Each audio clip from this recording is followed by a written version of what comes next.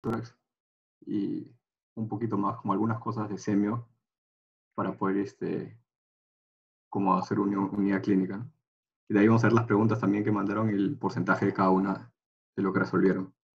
Este, bueno, en general, este es, esta es mi lista que hice para el ECOE de externado, porque en el ECOE de externado y el ECOE de clínica de semio les, les piden leer una placa de tórax. Y en externado también les vuelven a pedir otra, con diagnóstico inclusive. Entonces este fue como mi resumen del video de la doctora Tafur y otras fuentes de internet que saqué para, para memorizar lo que tenía que decir, ¿no? Entonces, si quieren, tomen el screenshot ahí, porque van a grabar el video, lo van a subir a YouTube, pero este, lo chequean. Y me ayudó bastante.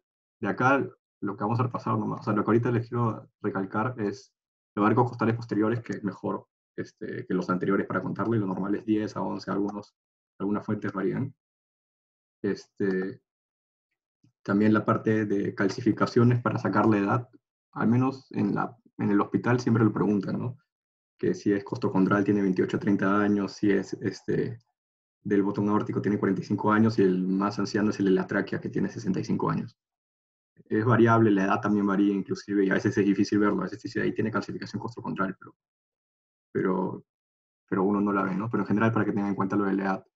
De ahí otra parte importante que nos enseñaron en el hospital es que mediastino superior nos dice más o menos para saber si está ensanchado o no, es que tiene que ser un centímetro a cada lado, y bueno, si no tienes cómo medir, este no es sobrepasar el ancho de la vértebra por encima del botón aórtico, ahorita vamos a verlo en una placa. De ahí el arco medio, que es otra cosa importante que pocos lo mencionan, es, lo vamos a ver ahorita, que es entre el botón de la aorta y, donde sale donde sale el ventrículo izquierdo, tiene que verse cóncavo, es decir, como, como, como si estuviera entrando. Si, si es plano o si está sobresaliendo, este, pueden ser distintas causas, ¿no? como están una hipertensión pulmonar, alguna linfadenopatía o crecimiento de la orejuela de la aurícula izquierda. De ahí la silueta cardíaca, bueno, lo que ya saben, el índice cardiotorácico, que solo se puede calcular en PA, por si acaso en el COES se ponen una placa anteroposterior y dices, no puedo calcular el índice cardiotorácico porque me va a salir alterado, me va a salir más grande. O si te ponen un derrame que tapa la mitad del corazón, tienes que decir, no se puede calcular el índice cardiotorácico porque no veo el borde del corazón. No digas parece que, sino simplemente dicen que no se ve. En los cilios pulmonares solo recuerden que el izquierdo es más alto que el derecho. Y de ahí que más, bueno, a veces preguntan en el hospital los hemidiafragmas que el derecho es más alto que el izquierdo en 1 o 2 centímetros, la forma también es importante como vamos a ver después. Y para ver los campos pulmonares siempre lo dividen en mitad superior, medio inferior, ven uno por uno y los ven comparando. Y lo que siempre le dicen que los vasos tienen que llegar solo hasta los dos tercios internos y es más conveniente hacerlo en las bases, cuando el paciente está parado, ¿no? Porque lo, en las zonas 1, 2, 3. Si es que está más para si es que predomina hacia arriba, se llama cefalización y es aumente la presión en la aurícula izquierda o, en caso de una edema pulmonar, por ejemplo. De ahí dice si hay o no dispositivos médicos y tu conclusión de la placa. Con esto de ahí le toman screenshots y para que puedan tener su orden a la hora de leer, de leer las radiografías. Este, para hacerlo rápido, si quieren comentan o si quieren este, hablan con el micrófono. Por ejemplo, este paciente puede tener hipoxemia y por cuál mecanismo, como mezclando radiografía de tórax con este, IRA.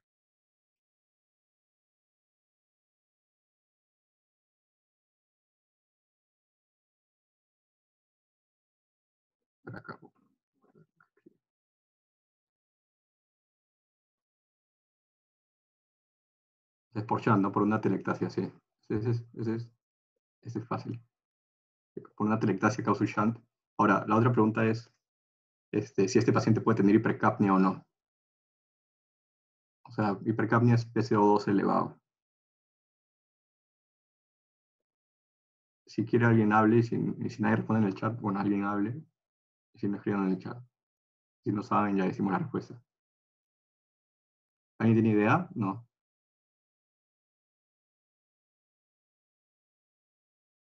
Claro, o sea, podría estar interventilando y lo pierde, pero en el caso tenga, por ejemplo, obviamente en medicina no todo es, no todo es este, estricto, pero este paciente podría tener. Imagina que está respirando normal. ¿Puede tener o no?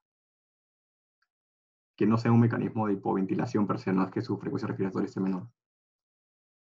O sea, sí puede ser en cualquier caso que un mecanismo de shunt sea severo, puede llegar a ser hipercapnia. Claro, pero ¿por qué? O sea, ¿cuál es el mecanismo? Acá como dice Valeria en el chat es por espacio muerto, ¿no? O sea, por hiperventilación, hipoventilación es uno, y el otro que es poco conocido a veces es por espacio muerto.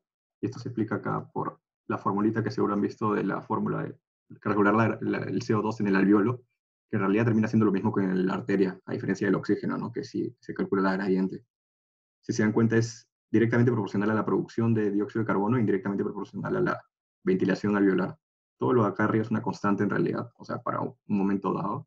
Y la ventilación alveolar, ¿se acuerdan que es el volumen tidal menos el volumen del espacio muerto, ¿no? Porque es el, o sea, la ventilación tidal, por así llamarla, la ventilación del espacio muerto, o sea, qué tanto aire entra a los alveolos que realmente están funcionando para que puedan hacer intercambio gaseoso. Entonces, si aumenta el espacio muerto, va a, va a disminuir esta resta, y como disminuye esta resta, aumentaría el PaCO2, que es el alveolo. Pero el PaCO2 en realidad es casi el mismo que el, la arteria, porque no es que haya dificultad en la difusión a diferencia del oxígeno. Entonces, a menor ventilación alveolar va a haber mayor este, dióxido de carbono en la arteria. Otra forma de verlo es que necesitas dos pulmones para poder botar todo el dióxido de carbono que tu cuerpo produce. O sea, si pierdes medio pulmón, quizás el pulmón y medio que te queda es suficiente para botar todo lo que tu cuerpo está produciendo en un momento dado. Pero si pierdes un pulmón por completo, como dicen, quizás al inicio que hiperventilas, el otro pulmón compensa. Pero ahí, aún sin hiperventilar, o sea, con una frecuencia respiratoria normal, como solo tienes un pulmón para producir todo el dióxido de carbono que está produciendo tu cuerpo, no le, es suficiente y empiezas a acumular este CO2. Ese es otro mecanismo importante. Este paciente sí puede tener hipercapnia por el hecho del, del espacio muerto. Bueno, en este caso es un shunt, pero le decimos espacio muerto en el sentido que estás perdiendo todo un pulmón. ¿no? Y de ahí vamos a explicar estrictamente por espacio muerto cómo podría haber hipercapnia también en el caso que se bloqueen las arterias, por ejemplo.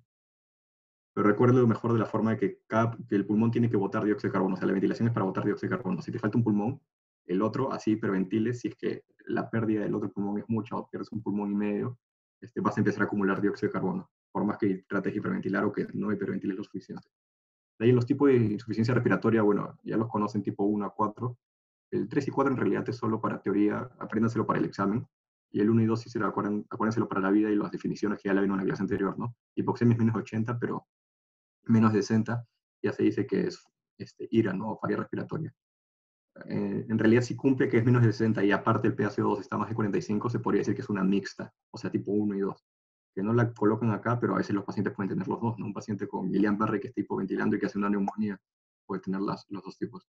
Para saber el, el PO2 normal, algunos usan esta formulita que con mayor edad a veces se acepta un límite menor de, de, oxígeno, pero esta la usan más para las rondas de geriatría, van a ver como los pacientes tiene un paciente de 90 años, así tienes que considerar que su PO2 puede ser menor y no así estar en hipoxemia necesariamente. Hay otro, otro dato que también es importante, es la rotación. Algunos dicen para dónde está rotado, ¿no? Tienes que ver las apófisis espinosas y ver cuál clavícula está más, más alejada. La clavícula que esté más alejada es la que manda la rotación. Verdad eso es relativo porque, o sea, para mí así puede ser rotar a la derecha, para otros así puede ser rotar a la izquierda porque dicen que el hombro izquierdo se está yendo para atrás, ¿no? pero lo que yo vi en el video de la doctora Tafuri, lo que usan en Cayetano inclusive, es que la clavícula que está más alejada es el lugar al que está rotado. Entonces, este paciente estaría rotado a la derecha. Y esquemáticamente eso sería el, que el, hombro derecho se vaya para atrás. Sea, para ellos rotar a la derecha es sentir en, los, en las agujas del reloj como si tú estuvieran viendo desde arriba. Entonces, si rotas hacia la derecha, el hombro derecho se va para atrás y la, y la clavícula se aleja del, de los haces de los rayos X. Eso es porque en realidad hacia dónde rotas es algo relativo, pero para cuando lean una placa en Cayetano, el lugar más alejado es hacia donde está rotado. De ahí también hay una...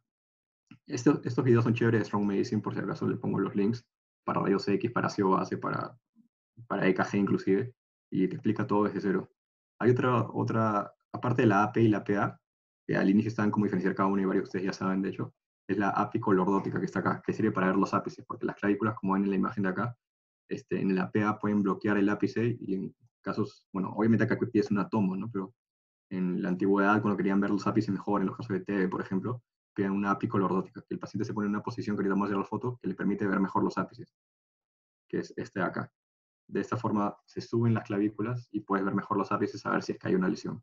En Cayetano una vez en el hospital escuché que la mencionaban los neumólogos, entonces por si acá para que la tengan en cuenta. ¿Alguien sabe qué tiene este paciente?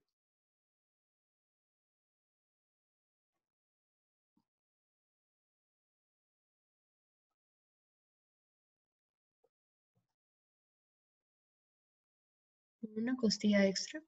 Claro, se llaman costillas cervicales, ¿no? Por si acaso si les preguntan, no es que tenga una rota acá, en realidad tiene dos, este es un pedacito ya que tiene otra más. A veces pueden ser hallazgos en la, en la, en la radiografía de tórax, como en este caso que tienen las dos, costillas cervicales, o acá que tiene una, por ejemplo. Entonces, es un dato adicional que lo mencionan en los videos de Strong Medicine y también que lo, lo he escuchado de algún doctor decirlo, pero o sea, si ya lo ven una vez, se van a acordar si algún día se los ponen. No es que lo tenga que apuntar y memorizárselo, pero la cosa es una vez que lo ves, lo vas a acordar si es que te lo vuelven a poner, ¿no? Y este, este solo lo puse para que recuerden cómo se ve el enfisema. Acá ponen un montón de cosas en pulmón, ahorita quiero que vean la parte de enfisema, porque a veces te ponen la placa y uno se pone a leer de frente los campos pulmonares por no seguir el orden y se olvida que hay un enfisema. Obviamente que acá es masivo, ¿no? Pero en caso sea chiquito, a veces no los notan. Y que al examen físico se sentiría como crépito cuando pasas, cuando pasas mano. De los diafragmas, como les dije, el derecho es más alto que el izquierdo, por 1 a 2 centímetros, y también es importante ver la forma. Y en la vista lateral a veces confunde cuál es el derecho, cuál es el izquierdo, ¿no? Lo principal es que, el, como en la foto de acá, el derecho se puede distinguir del borde del corazón y es el más grande, en el sentido que es el que va hasta más atrás y el que va hasta más adelante. Entonces, el izquierdo, como se pone el corazón, está a la izquierda, se apoya sobre el diafragma izquierdo y acá al izquierdo lo desaparece su borde. O puede seguirlo por acá, pero como que como que se pierde y no llega hasta el final. Entonces, en términos simples, el derecho es el que va más hacia adelante y más hacia atrás. Que cuál está arriba y cuál está abajo en la parte de atrás, en verdad es relativo, porque he visto unos que decían que el derecho es el que está más arriba, el izquierdo más arriba, pero en distintas placas quedan en distinto orden. Entonces, lo que encontré al final es que el que llega más hacia posterior y más hacia anterior es el derecho, o el que no es, el que no es escondido por la sombra del corazón, como está en la foto acá. Y bueno, acá es obvio porque está la burbuja gástrica que estaría en el diafragma izquierdo de los silueta cardíaca, más que memorizar todo esto, acuérdense solo este esquema, el aurícula derecha, ventrículo izquierda, aurícula izquierda, tronco pulmonar y arco aórtico. Acuérdense que el ventrículo derecho, por ejemplo, no se puede ver acá. El ventrículo derecho, cuando está crecido, tú lo ves. A veces, cuando crece mucho, tiene el corazón en forma de bota, que por ejemplo lo pueden ver en taterología de faloto, también en pacientes con hipertrofia de ventrículo derecho por, por pulmonales. Pero en general, cuando hay la placa lateral, se obstruye el ángulo, perdón, el ángulo en el espacio retroesternal, en la placa acá lateral hay este espacio retroesternal que cuando el ventrículo derecho crece suele, suele taparlo. ¿no? Entonces acuérdense de, de, dónde está cada, cada, uno de estos y sobre todo este de acá, debemos tener otras radiografías que tienes el, el arco aórtico, el ventrículo izquierdo con la aurícula izquierda y este espacio acá, bueno, las arterias que salen acá son el tronco pulmonar, pero acá hay un espacio que era, que era lo que les mencioné de la ventana pulmonar que le dicen que tiene que ser cóncava, es decir, con un huequito. Si es que está hinchada, puedes pensar en crecimiento de la orejuela y la aurícula izquierda, porque en realidad la aurícula está más abajo, pero si crece la, la orejuela y la aurícula izquierda, es que está creciendo la aurícula izquierda, ¿no? O que hay alguna enopatía o que ha crecido la, misma arteria pulmonar. Pero eso es importante porque a veces en estenosis mitral, por ejemplo, puedes ver el borde acá que está crecido, que no está, que no está cóncavo, porque incluso está aplanado o un poco convexo, ¿no? En este caso, por ejemplo, bueno, es bastante fácil, lo voy a hacer al toque, ¿no? Porque es la primera imagen que vimos, que es una antelectasia, que está, la tráquea tiene que ir hacia dónde está, hacia dónde está desviada, ¿no? Si tienes toda una radiopacidad, si la tráquea va hacia la radiopacidad, es que está jalando una antelectasia, o que algo del otro lado te está empujando, pero acá al otro lado no hay nada.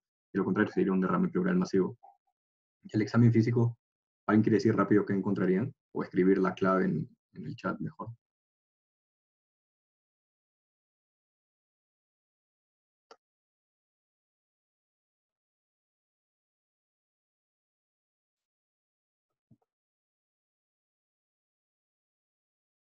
El examen físico te dicen, o sea, claro, si hay una telectasia, el, el murmullo vesicular va a estar este, abolido o disminuido, en realidad depende del grado de la telectasia.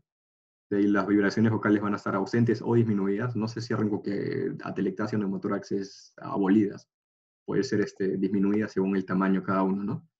Lo que sí tiene que acordarse es que vibraciones vocales aumentadas es solo en consolidación o neumonía, eso sí lo pregunté en el examen. Entonces te quedarías entre disminuido y ausente con matidez pero eufofonía es más para derrame o para consolidación. En realidad son los dos. Más lo asocian con derrame, pero con consolidación también se puede, también se puede ver por si acaso. Entonces, yo me, quedé, yo me quedaría con la, con la E, como mencionaron ustedes. Disminuir, abolido, ausentes y matidez. Pero acuérdense que así te pongan masivo y te ponen disminuidas, no, no descartes el hecho que dice disminuido y no dice abolido. ¿no? Si es que no hay otra clave mejor, marquen disminuido. En este caso, la mejor clave es la que abolido y ausente, que es lo que más iría con algo masivo sería la E. Y acá, ¿alguien quiere escoger en el chat el diagnóstico más probable que ustedes creen? Una pregunta antes. Eh, era sobre la radiografía anterior. Eh, se descartaba derrame, derrame pleural porque la tráquea estaba desviada, ¿verdad? Acá, claro, en esta, o sea, si fuera un derrame pleural masivo, tú tienes que ver hacia dónde está la tráquea. Normalmente un derrame pleural es algo que empuja la tráquea hacia el otro lado. O sea, si la tráquea Ah, está desviada, tú tienes que ver si la tráquea está desviada hacia la derecha o hay algo que lo jala hacia la derecha, que está a la derecha porque está jalando, o hay algo a la izquierda que le está empujando. En este caso es claro que hay algo a la derecha y no hay nada a la izquierda, ¿no? Pero a veces queda la duda porque hay una masita acá y la tráquea está desviada. Entonces tienes que ver qué es lo que hay. Si la tráquea está a la derecha o hay algo que la está jalando a la derecha, lo único que puede jalar es una telectasia. Lo que puede empujar son masas, derrame, neumotórax, atención inclusive, y, o algo que la está empujando del otro lado. Acá nada la está empujando del otro lado, entonces es algo que la está jalando y como es una radiopacidad, piensas en la o derrame, ¿no? Como la está jalando es una telectasia. Si le estuviera empujando y sería igualito, sería un, un derrame, sería la forma de verlo. Gracias. Acá el diagnóstico es que lo que ustedes creen que es de la, de la primera y la segunda, bueno.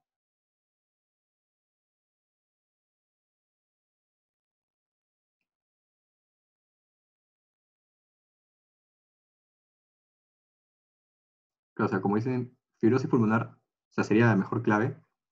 Y crépitos tipo velcro, si está bien. Ven un patrón, debemos ver los patrones, pero sería un, patrón intersticial, que a veces lo pueden dividir en reticular, nodular o retículo nodular en realidad. Si quieren decirle un patrón este, intersticial reticular, porque parecen como nets. Pero eso es relativo, de ahí vamos a ver mejor imágenes. La cosa es, acá la mejor clave sería fibrosis pulmonar. En realidad decir fibrosis pulmonar es un término coloquial, ¿no? El verdadero término es EPIT, o enfermedad pulmonar intersticial difusa, donde dentro de, esa, donde dentro de los EPIT están, por ejemplo, la fibrosis pulmonar idiopática, que es un tipo de fibrosis pulmonar, por así decirlo. Pero eso van a ver neumo. La cosa es cuando vean así todo intersticial, que se llama, justo en el espacio intersticial, en los centros alveolares que está crecido, se ven como nets o como, como, sí, como nets para cazar peces, así, y piensan más en un patrón intersticial. Ahora puede tener bolitas chiquititas que acá no parece, en realidad es bien relativo a la radiografía tórax, pero acá no aparece, entonces podría decir un patrón intersticial. Puedes decir, sí, sí veo algunas, entonces intersticio nodular, perdón, reticular, retículo nodular. Si solo ves bolitas chiquititas, dirías nodular, que sería micronodular, sería miliar. Vamos a ver después. Pero en general, quédense con intersticial, lo pueden dividir en reticular, retículo nodular o nodular. En general, casi todo es retículo nodular. Es raro que haya uno de un extremo u otro otro extremo. Pero, por ejemplo, en fibrosis pulmonar o EPIT, por decirlo correctamente, es un patrón intersticial a predominio re- reticular o a ese retículo nodular. Y crépitos tipo velcro, acuérdense de este nombre porque lo suelen preguntar. Está en el argente inclusive que el velcro es el pega-pega, entonces suena como si fuera un pega-pega, ¿no? Es algo seco, no es algo crépitos húmedos como a veces le dicen a lo, de la, a del síndrome de consolidación. Acá el examen físico del paciente, ¿qué esperaría encontrar? Ahorita terminamos con estas las rápidas, que era para ver más o menos cómo están.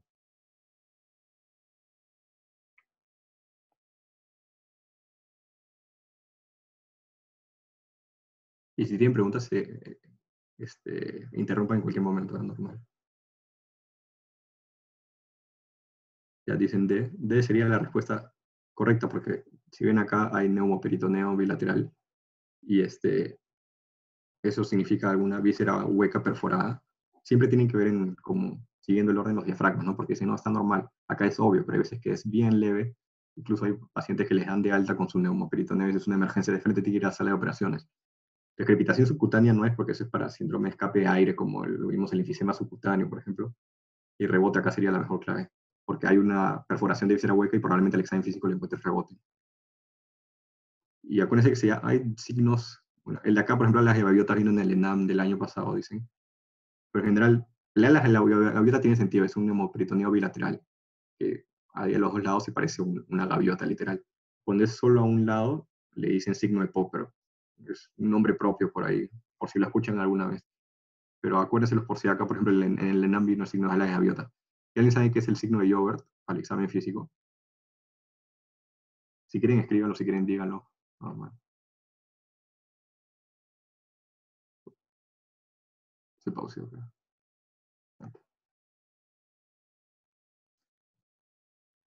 ¿Alguien sabe qué es el signo de yogurt? Eh, ¿No es cuando la materia es reemplazada por el mecanismo? Ah, sí lo habían escrito, pero no bien. Sí, que es desaparición de la materia hepática, ¿no? O sea, cuando tú percutes y desaparece, puedes sospechar en neumoperitoneo. Eso acuérdenselo para, para el examen de abdomen. Pues, en realidad, o sea, si en la pregunta acá te ponía signo de yogurt, esa podría ser la clave, ¿no? Porque percutes y se pierde la materia es porque hay aire en vez del hígado. Signo de Chilaiditi es cuando el asa intestinal, en este caso, por ejemplo, es un intestino grueso, diferencia grueso y delgado porque en el grueso ves las jaustras que hay acá y cada jaustra, como ven, no llega hasta el final del otro lado. Por ejemplo, esta comienza y ahí termina, esta comienza y ahí termina. En cambio, en el intestino delgado tú ves las válvulas conniventes que van de un lado a otro completamente. Y cuando hay obstrucción intestinal parece pilas de moneda, porque van de un lado a otro. En cambio, acá se ven las jaustras, con la parte que es bien ancho, ¿no? Como un intestino grueso, que no, no llegan a otro lado. El signo de chileiditis es cuando se sobrepone un ácido intestinal delante del hígado, por ejemplo, y pareciera haber neumoperitoneo, pero es algo normal, es un hallazgo normal. Y, y no hay que confundirlo con neumoperitoneo. Por, por ejemplo, acá ves la jaustra y con eso diferencias. Obviamente el examen físico también y la historia del paciente, etc. Por ejemplo, esta, esta radiografía, ¿cómo la podrían describir?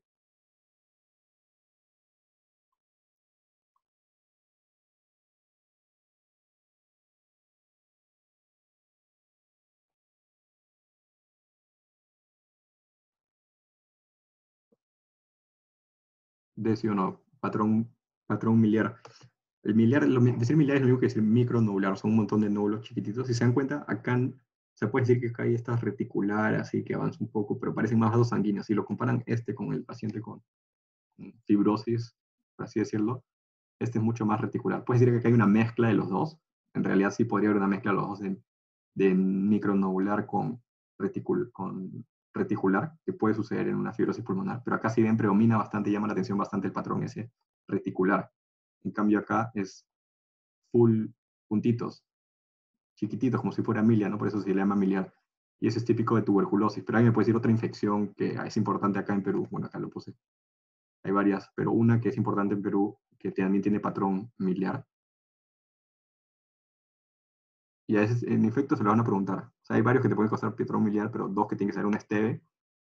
Y es pregunta de NAM también, que te dicen paciente que viene con, este, que está con tos desde hace tiempo. Este, viene Tingo María, por ejemplo, y le hacen becas múltiples, inician tratamiento, no responden. El siguiente paso es, y tiene patrón miliar en la radiografía tórax, y dicen el siguiente paso es, no es histosoma, no es histoplasma, sí. La histoplasmosis diseminada te puede dar. Entonces, la pregunta del el siguiente paso es buscar hongos, por ejemplo. O sea, no te piden el hongo, ¿no? Pero acuérdense de histoplasmosis diseminada. O sea, hay varios tipos de histoplasmosis pero inmunosuprimidos, por ejemplo, te puede causar una diseminada y causa patrón miliar también. O sea, si se dan cuenta, hay un montón de causas de patrón miliar, pero acuérdense de tuberculosis e histoplasmosis. Blasto, coccidioides son de Estados Unidos, no los tienen que saber. Y tampoco es común que causen patrón miliar. Acuérdense de las dos primeras, tuberculosis e histoplasmosis. Y hay un montón de otras causas, ¿no? Causas poco infecciosas, poco comunes, que no las tienen que saber. Y en realidad, cualquier este, metástasis te podría causar patrón miliar, pero es raro. Lo único que, se acuerden, que quiero que se acuerden ahorita es TB, que ya lo saben, y histoplasma. Por ejemplo, acá, esta la puse solo para que vean las, que a veces se pueden sobreponer los, los pezones, las tetillas, y no hay que confundirlo con un óvulo, ¿no? A veces incluso usan unos marcadores especiales para tomar la placa y saber que son los, los pezones y no confundirlo con, con algún nódulo o malignidad. De ¿Alguien sabe si este es un niño que viene con dificultad respiratoria? ¿Cuál sería el diagnóstico? Croup. Sí, Krupp. Acuérdense que en Krupp hay el signo de la punta del lápiz. Ahorita lo vamos a diferenciar de epiglotitis, que es que la tráquea se va estenosando. Es una estenosis subglótica y el paciente, bueno, en este y en epiglotitis en realidad en Krupp viene con la tos perruna, que es típica de Krupp, y también con este, un estridor. ¿Se acuerdan si el estridor es inspiratorio o expiratorio? Eso sí le van a preguntar en serio inspiratorios. En acuérdense, este estridor tiene que ver con laringe, es vía aérea superior, y laringe tiene su, sus letras IN, laringe, entonces es inspiratorio. En cambio, los sibilantes suelen ser expiratorios, por mecanismos de presión que cuando tú expiras, la presión es más negativa, o sea, tienden a colapsar los bronquios, pero la laringe cuando tú botas aire tiende a expandirse, por eso no se cierra. Porque cuando tú tomas aire, por efecto ventril, la laringe tiende a cerrarse y los bronquios a estirarse. Por eso la laringe suena en inspiración y los bronquios suenan a expiración. Ahora, si tú tienes un paciente que tiene sibilantes en inspiración, o sea, en, el tórax, obviamente es algo más grave, porque para que suene en inspiración, es que en expiración ya está sonando y que está mucho más cerrado de lo normal, ¿no? Incluso en puntaje de dificultad respiratoria, cuando hay sibilantes en dos tiempos, es una obstrucción más grave. Entonces, acuérdense que la laringe va con estridor inspiratorio. En este caso, de ir a una pediatría, pero el signo de la punta del lápiz que parece un lápiz es típico de Krupp que es causado por, por influenza. Y el de acá, por ejemplo, sería la otra respuesta que dijeron, epiglotitis. Acá está la epiglotis y parece un dedo pulgar, es el signo del dedo pulgar. que es típico de epiglotitis, que ya no hay tanto ahorita porque le causado por hemófilos tipo B, pero una bacteria que con la vacuna ya lo cure. Esto lo van a ver pediatría, pero le ponía la radiografía para que, para que sepan la diferencia y para hacer comentario del estridor inspiratorio, que eso sí se lo van a preguntar varias veces en el examen de pediatría de SM, en el examen de pediatría de, del propio pediatría o en los exámenes de semio general, ¿no? Entonces acuérdense que estridor va con inspiración. Acá, por ejemplo, es, se ve feo la foto, pero acuérdense que pueden haber, por ejemplo, hernias este, hiatales. Este, acá hay un nivel hidroaéreo, que es líquido con aire, y es en verdad es el estómago que está protruyendo, ¿no? es esto de acá. Entonces, acuérdense que en la placa en realidad pueden haber un montón de cosas, no solo, no solo fijas el pulmón. Y este de acá, por ejemplo, sería una consolidación en el lóbulo superior. De ahí vamos a ver como tal consolidación, pero ¿a alguien le llama la atención algo de acá? Por ejemplo, la cisura. O sea, la cisura normalmente es así de bombada o es más recta. Y incluso en una neumonía no, la cisura no tiende a bombarse como, como esta acá. Cuando la cisura está así abombada, algunos le llaman neumonía pesada, porque es como si estuviera algo empujando hacia abajo y haciendo que el lóbulo superior esté como pesado y la cisura horizontal se abombe. Es un tipo de neumonía, en realidad tiene un nombre como tal porque la radiografía de tórax, como lo ves, y está típicamente asociado con Klebsiella. Eso lo van a ver, no sé si en neumo, en los estudios lo mencionan, y Klebsiella, acuérdense que es típico también de pacientes alcohólicos o con diabetes que vienen con esputo este, con sangre que le dicen como jalea de grosella. Y el típico radiografía supuestamente es pesada, pero en realidad eso puede suceder con cualquier bacteria, pero se lo pongo como un dato curioso. De ahí, por ejemplo, el signo cervico- cervicotorácico, que hay una masa o una radiopacidad, por así decirlo. ¿Alguien sabe si eso está, este, si eso está, o sea, anterior o posterior?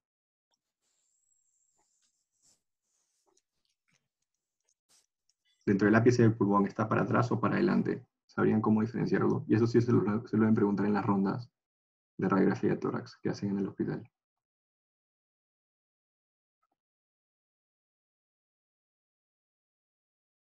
Bueno, la, técnica acá es, este, el, en el ápice del pulmón, este, en realidad hay más parte posterior del pulmón que parte anterior, es decir, el ápice pulmonar, casi, el ápice pulmonar, o sea, ahorita estamos preguntando, ya sabemos que está en el pulmón, o sea, de ahí vamos a ver cómo diferenciar si es extrapulmonar o intrapulmonar, pero si es pulmón queremos saber si es que está dentro del pulmón, en la parte más anterior o en la parte más posterior, puede ser, si que no tienes una placa lateral, ¿no? Obviamente. La forma de saberlo es viendo la clavícula y si sobrepasa el borde superior de la clavícula quiere decir que está en la parte posterior, porque la parte posterior del pulmón, si ustedes ven una, una foto del pulmón en 3D, con la clavícula ven que la parte posterior llega más arriba que la parte anterior. Entonces, para que en la radiografía de tórax la se vea por encima de la clavícula, significa que es en la parte posterior y no en la parte anterior. Si es que no llegara, es más probable que sea en la parte anterior. Obviamente esto lo vas a ver mejor con una lateral y todo, pero es algo que a veces preguntaban en las, en las, en las sesiones de radiografía tórax que ven en, el hospital en externado. Y el signo toracoabdominal es algo parecido, que hay una masa una radiopacidad, que como ustedes ven está como que atravesando el diafragma, parecería, ¿no? Pero en realidad lo que está es posterior. Acuérdense que es una imagen 3D y el diafragma es más alto en su parte anterior y de ahí baja hacia la parte posterior. Entonces, si hay una imagen en la parte de atrás del diafragma, como bien sube y baja, cuando tú pasas el rayo, eh, los rayos, este, vas a, el diafragma, la cúpula más anterior, va a hacer que parezca que la, la masa o la imagen que está atrás esté mitad arriba y mitad abajo, como está acá, ¿no? Entonces, si tú puedes delimitar bien los bordes, significa que no es que lo esté atravesando, sino que está posterior a la, a la parte más alta del diafragma, ¿no? Es otro signo importante. Obviamente en una placa lateral te vas a dar cuenta mejor, por eso siempre en emergencia, acuérdense, cuando estén haciendo guardias de externado a internado, de marcar en la hoja la radiografía toras lateral y, este, y posterior anterior. Obviamente si es que el paciente se puede parar, ¿no? Si no, solo te puedes pedir una, una supina, que es antero-posterior. Porque si ustedes no lo marcan, nadie, nadie les va a decir nada y al final te va a venir solo la placa anterior y, y no vas a poder definir bien. Y no es que te cueste más, es solo cambiar de posición al paciente. Más le va a costar al paciente ir de nuevo a tomarse la radiografía. ¿Alguien nota algo anormal acá? Ese es otro signo importante en las laterales.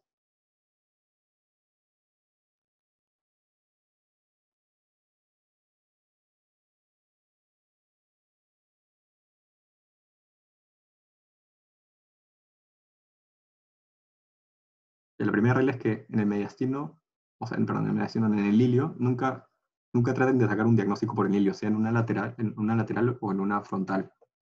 O sea, acá si es que uno dicen, a veces veo algo raro acá en el hilio, como una bolita o un circulito de radiopacidad.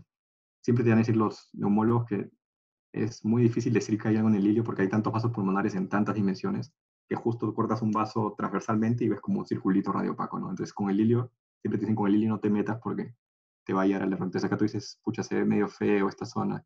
Pero como dicen acá, usuario, es que hay una radiopacidad este, posterior, ¿no? Que ven acá, conforme tú bajas la columna, ves que acá hay una radiopacidad, que podría ser una neumonía, por ejemplo. No sería un derrame porque el derrame tendría que obturar el ángulo. Entonces acá tú tienes el ángulo y acá debería haber una línea así que te tape. En cambio, es una radiopacidad que no obtura el, el, ángulo, sino que solo lo hace más, más blanquito, no más radio opaco. Y puede ser una neumonía, por ejemplo. Entonces, para, saber, para no perder de vista esto, hay lo que se llama el signo de la columna o el spine sign, que conforme tú ves la columna, tiene que irse haciendo más negrita, o sea, más, más rayolúcida conforme tú bajas de arriba hacia abajo. En toda placa lateral tienes que chequear eso, o sea, chequeas el espacio retroesternal que ya les expliqué antes acá, y chequeas cómo baja la columna que se tiene que ir haciendo más oscura. Esta es una normal, por ejemplo. En cambio, en este, si tú simplemente haces tu, tu orden de seguir en la placa lateral, ves tu columna posterior o tu columna y ves como al final de la nada cambia color y ya te diste cuenta que hay algo anormal ahí y no se te pasa, ¿no? Porque si es que solo buscas algo, va a ser bien difícil que te des cuenta. Entonces siempre en una lateral sigan a la columna y vean que se vaya haciendo más oscurito y más oscurito. Y también pueden ver el espacio retroesternal. Entonces, ¿tienen dudas hasta acá de lo primero que vimos, que era como algunos signos importantes en radiografía? Si no, pasamos al primer caso.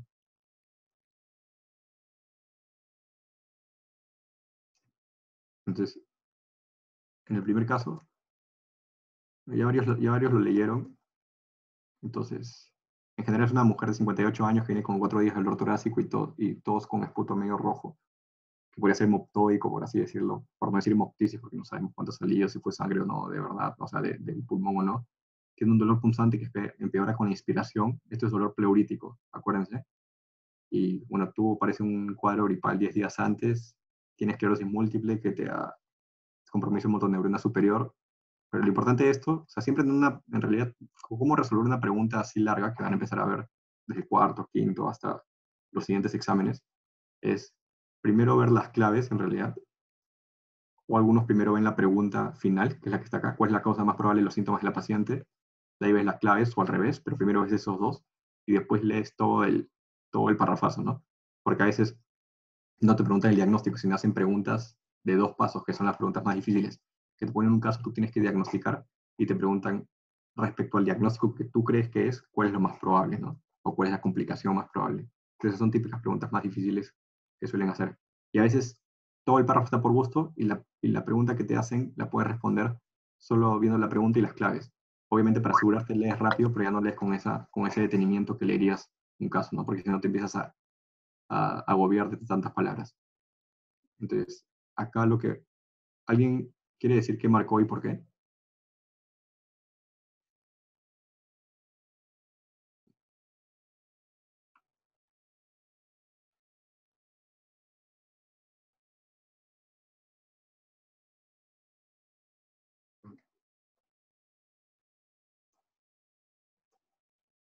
neumonía marcaron, a ver. Entonces, acá están los porcentajes que marcaron cada uno y la respuesta, vamos a ver ahorita. Pero si les resumo el caso de esta forma, mujer de 58 años con cuadro agudo de dolor pleurítico y hemoptisis, bueno, podría ser, o esputo hemoptoico si quieres ponerlo, pero dolor pleurítico sí tiene, es postrada crónica, o sea, todo el floro que te meten de, de, de esclerosis múltiple que está en silla de ruedas, podría ser postrada crónica o, bueno, que se mueve en silla de ruedas, pero que no mueve sus piernas, eso es lo importante, ¿no? Claro, sin un TEP y fumadora pesada, o sea, el, tabaco daña el endotelio. Está taquicárdica, subfebril, no tiene fiebre y tiene crépitos en base derecha. Entonces, cuando te resumen en caso de esta forma, que sería como decir representación del problema, queda mucho más claro que podría ser un embolismo pulmonar, ¿no? Y te ponen la placa que el corazón obviamente está grande, la tráquea esté desviada, saca la, el botón aórtico está bien grande, podría tener un aneurisma de aorta. Otra cosa es que esté roto para que te cause síntomas agudos, si no, no te va a causar molestia porque es algo que demora con el tiempo, ¿no? Acaben con una radiopacidad bien grande, que todo el mediastino está movido, etcétera, pero te piden que al examen físico hay crépitos en la base derecha. O sea, eso más o menos te lleva tienes que juntar tu examen físico con la placa, porque puedes tener un montón de cosas en la placa de la paciente que trae de antes, ¿no? como en un paciente que tiene muchas comorbilidades. Y acá en la placa ven esta radiopacidad que está acá, que parece un triangulito, pareciera haber cisuritis, obviamente es algo, es algo este, sutil, ¿no? Es la, la, la cisura horizontal, se llama cisuritis cuando se nota la, la cisura porque es líquido que hay, y parecería, pareciera estar un poco obturado el ángulo. Si se dan cuenta, tiene que ser completito así. A veces es bien sutil porque debemos ver en la lateral cuánto de líquido tiene que haber y pareciera estar obturado.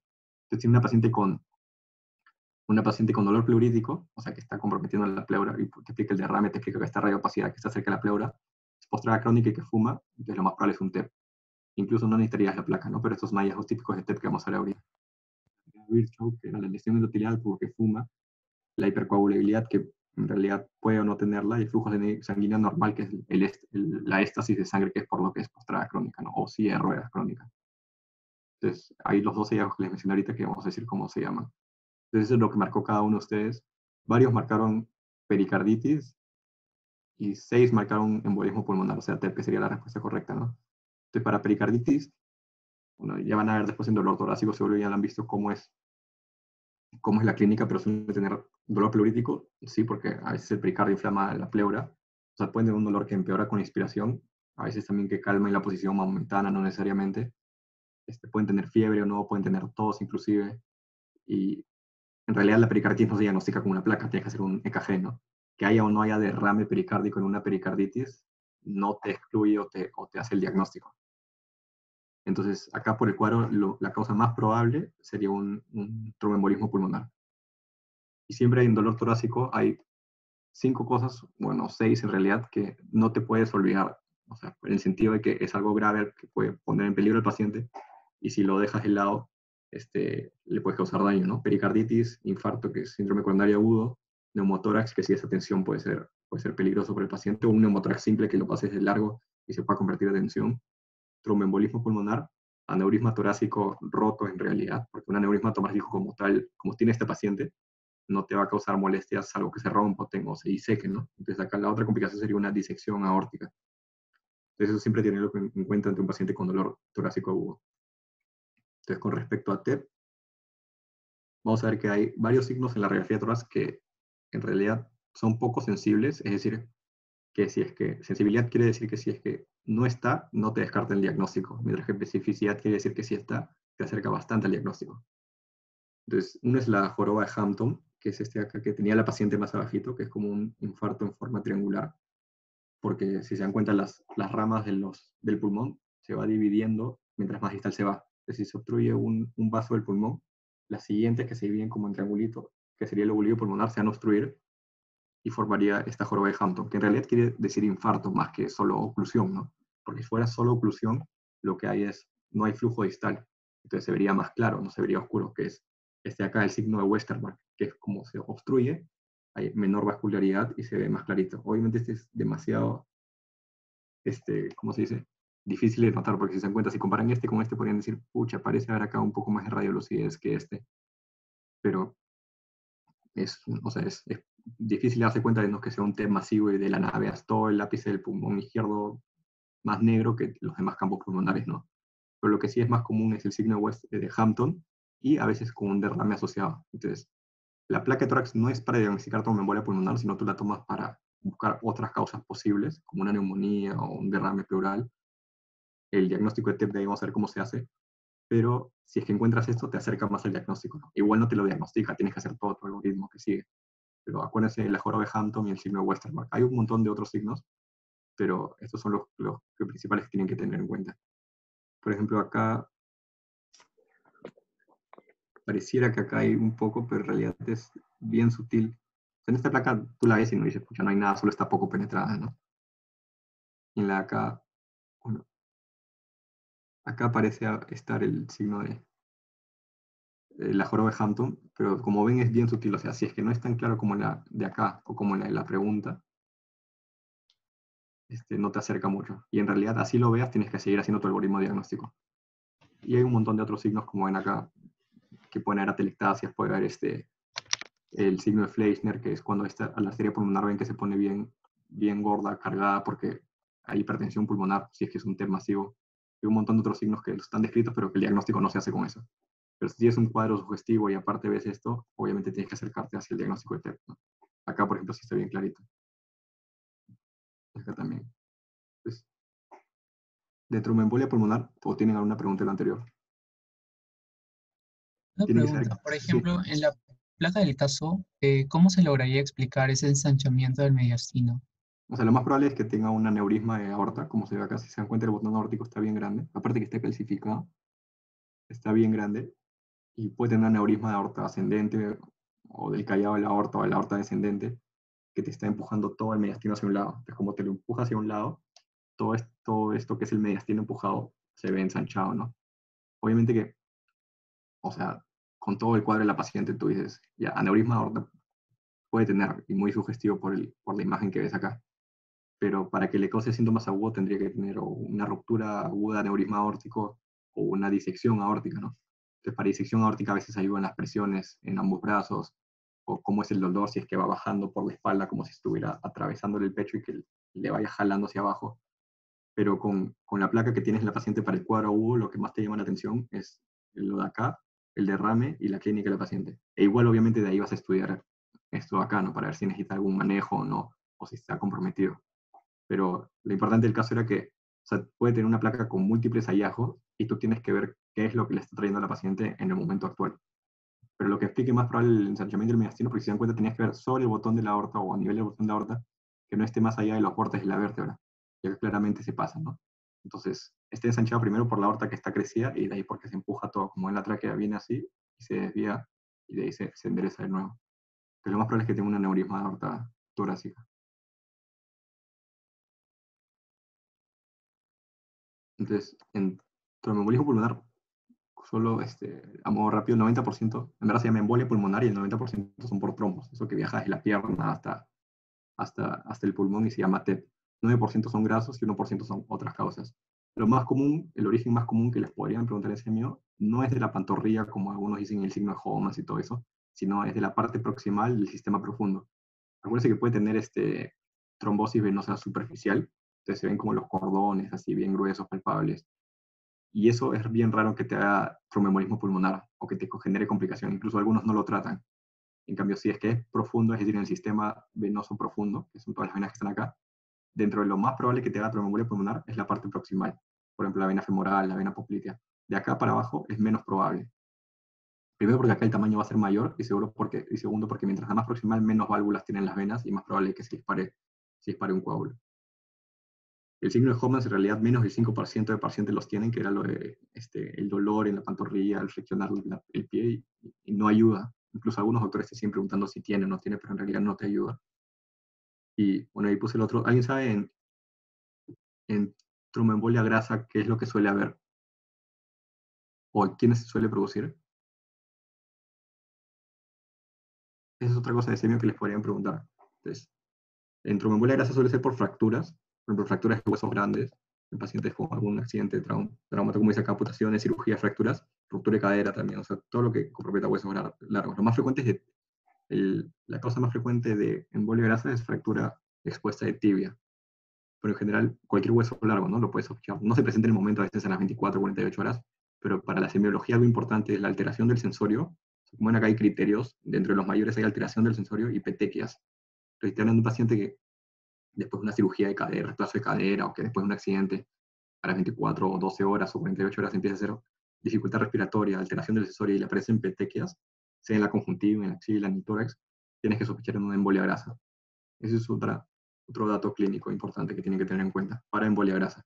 Al menos la parte clínica y por qué se podría causar, ¿no? En el examen físico de tromboembolia, lo más frecuente es taquicardia, taquipnea, decrépitos, si es que hay infarto pulmonar, signos de trombosis profunda que sería indirecto si es que el paciente disparó el coágulo de ahí, pero como ven, es más frecuente en, la parte proximal, pero si afecta proximal, ese te puede afectar hasta distal, ¿no? El frote pleural si es que hay compromiso pleural. Y otra cosa que pueden haber en TEP masivo es un segundo ruido intenso, porque acuérdense que el componente, el P2, es el cierre de las válvulas pulmonares. Y si hay hipertensión pulmonar, se va a cerrar con fuerza y te va un segundo ruido intenso. El deslodamiento fijo de S2 que puede suceder. De ahí vamos a ver en qué otro tienen que acordarse que tiene que aparecer esto. Y el soplo Graham Steel, que es un nombre propio en realidad, no creo que les pregunten, pero es de regurgitación pulmonar. Es decir, hay tanta presión pulmonar por, por el tromboembolismo pulmonar o incluso un paciente que tiene hipertensión pulmonar por otra causa, que en la, en la diástole que se está llenando el ventrículo derecho y la válvula pulmonar que está cerrada, como hay tanta presión, se abre un poco la, la válvula aórtica y hay un soplo de, de, la válvula pulmonar, perdón, y hay un soplo de insuficiencia pulmonar.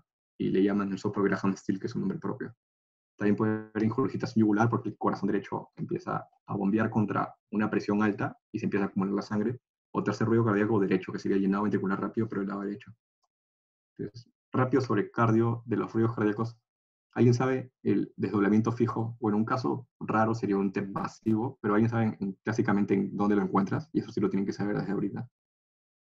¿En qué cardiopatía congénita? Asianótica. En CIA, ¿no?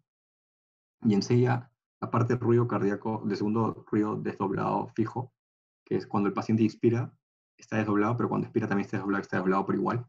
¿Qué otro, qué otro soplo hay? bueno, ¿qué soplo hay? hay un soplo mesosistólico, pero foco, ¿en qué foco principalmente? ¿O qué válvula podría ser? Es de la válvula pulmonar, pero es funcional porque en un CIA hay sobrecarga del lado derecho, porque la sangre suele pasar de la aurícula izquierda a la aurícula derecha, por eso es asianótica, hasta que se invierte, que lo vamos a ver después. Y como hay tanta sangre en el lado derecho que está pasando, que entran por las venas cavas y que pasa de la aurícula izquierda, el, el, ventrículo derecho tiene que bombear toda esa sangre y pasa por una válvula pulmonar que está normal, pero que como tiene tanta sangre se genera un soplo, un soplo funcional de estenosis pulmonar, como si fuera estenosis pulmonar, ¿no? Entonces un soplo sistólico o mesosistólico en, en el foco pulmonar. Luego el foco pulmonar es lo contrario, o sea, la válvula pulmonar está a la derecha, pero tu foco pulmonar está a la izquierda, el segundo espacio intercostal.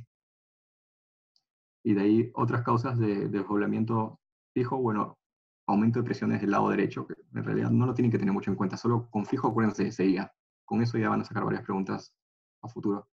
Y en desdoblamiento amplio y paradójico, dos cosas que se tienen que acordar es estenosis pulmonar para el amplio estenosis aórtica para el paradójico. Y, también es, cuando lo, cuando lo tratas de entender fisiológicamente, es bien simple, ¿no? Porque acuérdense que lo normal es que la pulmonar venga, la válvula pulmonar se cierre después la aórtica, porque maneja menos presiones. Entonces, cuando tú inspiras, entra más sangre al lado derecho y por eso se demora en cerrarse el lado derecho, porque hay más sangre que está botando el ventrículo derecho, que tiene menos músculo y que demora más en botar esa sangre, entonces al inspirar es normal que se desdoble. Ahora, si se desdobla siempre y por igual, obviamente dijimos que CIA, y eso sucede porque cuando tú inspiras, entra más al lado derecho, pero como hay un CIA, cuando tú inspiras, también se pasa al lado izquierdo y se cierran al mismo tiempo y separados porque entra más sangre. Entonces genera un desdoblamiento fijo. El desdoblamiento amplio, si es que hay estenosis pulmonar, obviamente la pulmonar se va a cerrar más tarde per se, es decir, desde la inspiración, porque por sí genera dificultad para que salga la sangre por el lado derecho, y cuando inspires, más razón aún se va a demorar en cerrar, porque está dificultando salir del lado derecho y tú le estás metiendo más sangre, entonces se va a separar más. Entonces, típico de estenosis pulmonar. También van a haber un bloqueo completo de rama derecha, hipertensión pulmonar, pero eso por ahora ignórenlo.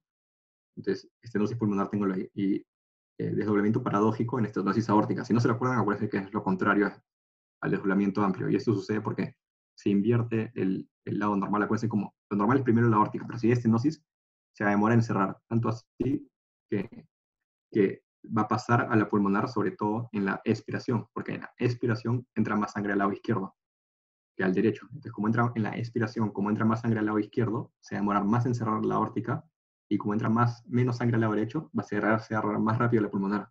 Entonces se van a separar en la expiración.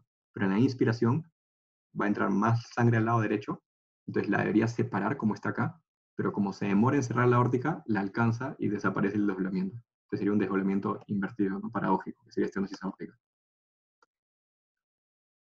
Y bueno, en el LAGA tienen gradiente alveolar arterial elevada, hipoxemia y PCO2 bajo por la hiperventilación.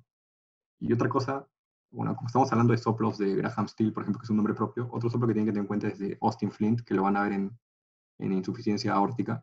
¿Y alguien sabe por qué sucede? Entonces, en, insuficiencia aórtica, es como es insuficiencia y desde las válvulas este, aórtico-pulmonar, es un soplo diastólico, es lo normal, que debería estar acá, que es solo decreciendo. No es un romboide, un romboide como en, el, en, el, en la estenosis aórtica. Entonces, como entra la sangre en la diástole porque está floja la válvula, es un soplo que va cayendo, que es el típico soplo, el típico soplo de la insuficiencia aórtica. Pero aparte, también va a haber un soplo de Austin Flint, y este soplo que vamos a ver después de, hiperflujo. El de Austin Flint es porque cuando está viendo, cuando está habiendo insuficiencia aórtica, como ven acá, o sea, en la diástole que debería estar abierta la mitral, en la insuficiencia aórtica va a entrar sangre al ventrículo, y como está entrando sangre por acá, va a empujar a una de las valvas de la válvula mitral y la va a cerrar un poquito. Entonces le va a causar como una estenosis mitral fisiológica o funcional, por así decirlo, que va a causar un soplo cuando la válvula mitral está estenosada, que sería en diástole, ¿no? Entonces este sería el soplo de Austin Flint, como se dan cuenta. Soplo en diástole propio de la, de la, de la insuficiencia aórtica y un soplo en diástole final, que es cuando ya el ventrículo está más chiquito y se pueden juntar más las válvulas, que es cuando este empuja la válvula de la válvula mitral y genera otro soplo, otro soplo en diástole, que sería el de Austin Flint. Y aparte de un soplo hiperflujo, que sería, por así decirlo, de estenosis aórtica, porque como está entrando tanta sangre al ventrículo, tiene que bombear al final más sangre en la, en la sístole, porque en la diástole está entrando sangre de, acá y de acá. Entonces, como la sístole tiene que bombear más sangre, la válvula, si bien no está estenosada, hay un montón de sangre que hace que suene un soplo de estenosis, así como el caso del CIA con el lado derecho. Y bueno, en insuficiencia aórtica aproveché también, si bien no es clase de cardio, para poner, para que sepan que hay un montón de signos de insuficiencia aórtica, ¿no? Que no creo que se les pregunten en el examen, pero que deberían irlos teniendo en cuenta. Por ejemplo, el signo de Puinque es cuando en las, en las uñas tú ves que está rojito y de ahí se pone blanco, rojito, blanco, rojito, blanco, como un video que ahí lo pueden chequear acá. Y es porque acuérdense que en diástole, como la insuficiencia aórtica, la, la aorta se contrae en diástole, toda la sangre debería ir a periférico, pero como la aorta está abierta, se, se va hacia el corazón. Entonces en diástole hay una caída brusca y se ve blanco, como si no llegara sangre. Y por eso también te explica el, el, el soplo saltón, ¿no? O el signo del, del martillo de agua. Y en el examen de signos sí nos entró qué presión arterial, o sea, sistólica y diastólica, podrías encontrar en estenosis aórtica y insuficiencia aórtica. Entonces, en insuficiencia aórtica, acuérdense que lo que tiene que buscar es una presión diastólica baja, porque la presión diastólica es como, es la presión que tú mides cuando la aorta se contrae y la sangre que bota hacia las arteriolas y que tan contraídas están. Pero si tú tienes otro, otro lugar de escape esa compresión de la aorta, por ejemplo, la insuficiencia aórtica va a hacer que la presión diastólica sea mucho más baja. Y te ponen claves, ¿no? 120, 80, 120, 90, 120, 50. Entonces, por ejemplo, el 120, 50 sería lo más, lo más obvio. Y si quieres ser exacto, calculas la presión de pulso, que es la diferencia entre la sistólica y la diastólica. Y mientras más amplia, significa que hay más diferencia entre los dos, y que en este caso sería por una caída de la diastólica. Y así hay un montón de otros signos que los pueden leer después. ¿no? Hay uno que cuando mueve la cabeza, que es el signo de Muset, por ese, por ese gran diferencial de pulso. ¿Y alguien sabe en qué otros casos podría encontrar, por ejemplo, soplos saltones? Hay dos casos más importantes que tienen que saber. ¿Dónde podrías encontrar este soplo saltón? Que es por, la gran, por el gran diferencial de presión. O hasta tres, si quieren. Tres casos, tres casos importantes donde puedes encontrar un soplo saltón. O el signo de martillo de agua, si quieren decirlo así. Claro, o sea, en, o sea, en, anemia, fiebre es válido porque son donde hay hiperflujo y puede generar incluso un soplo o, o por la misma vasodilatación. Y lo, cómo lo sacas es porque el soplo saltón es por la caída de la diastólica o bueno, un aumento de la sistólica, ¿no? Entonces, cuando cae la diastólica, cuando hay una, un aumento de la vasodilatación de las arteriolas, es decir, una caída de la resistencia vascular periférica. Y eso es típico, por ejemplo, en tirotoxicosis, porque la, las hormonas tiroideas aumentan la sistólica y bajan la diastólica. También es típico, por ejemplo, en insuficiencia aórtica, que lo hemos visto ahorita porque baja la diastólica porque la sangre regresa, regresa. También en sepsis, porque en sepsis, en shock séptico, que es shock distributivo, lo que hay es una vasodilatación sistémica, entonces cae la diastólica. Otro tipo de shock distributivo es shock anafiláctico, un shock séptico que le ven ahorita. Este, también lo pueden ver en, en una cardiopatía congénita. ¿Cuál creen que pueden, en qué cardiopatía congénita podrían encontrar un soplo así saltón? Que la sangre puede escaparse en diástole a otro lado.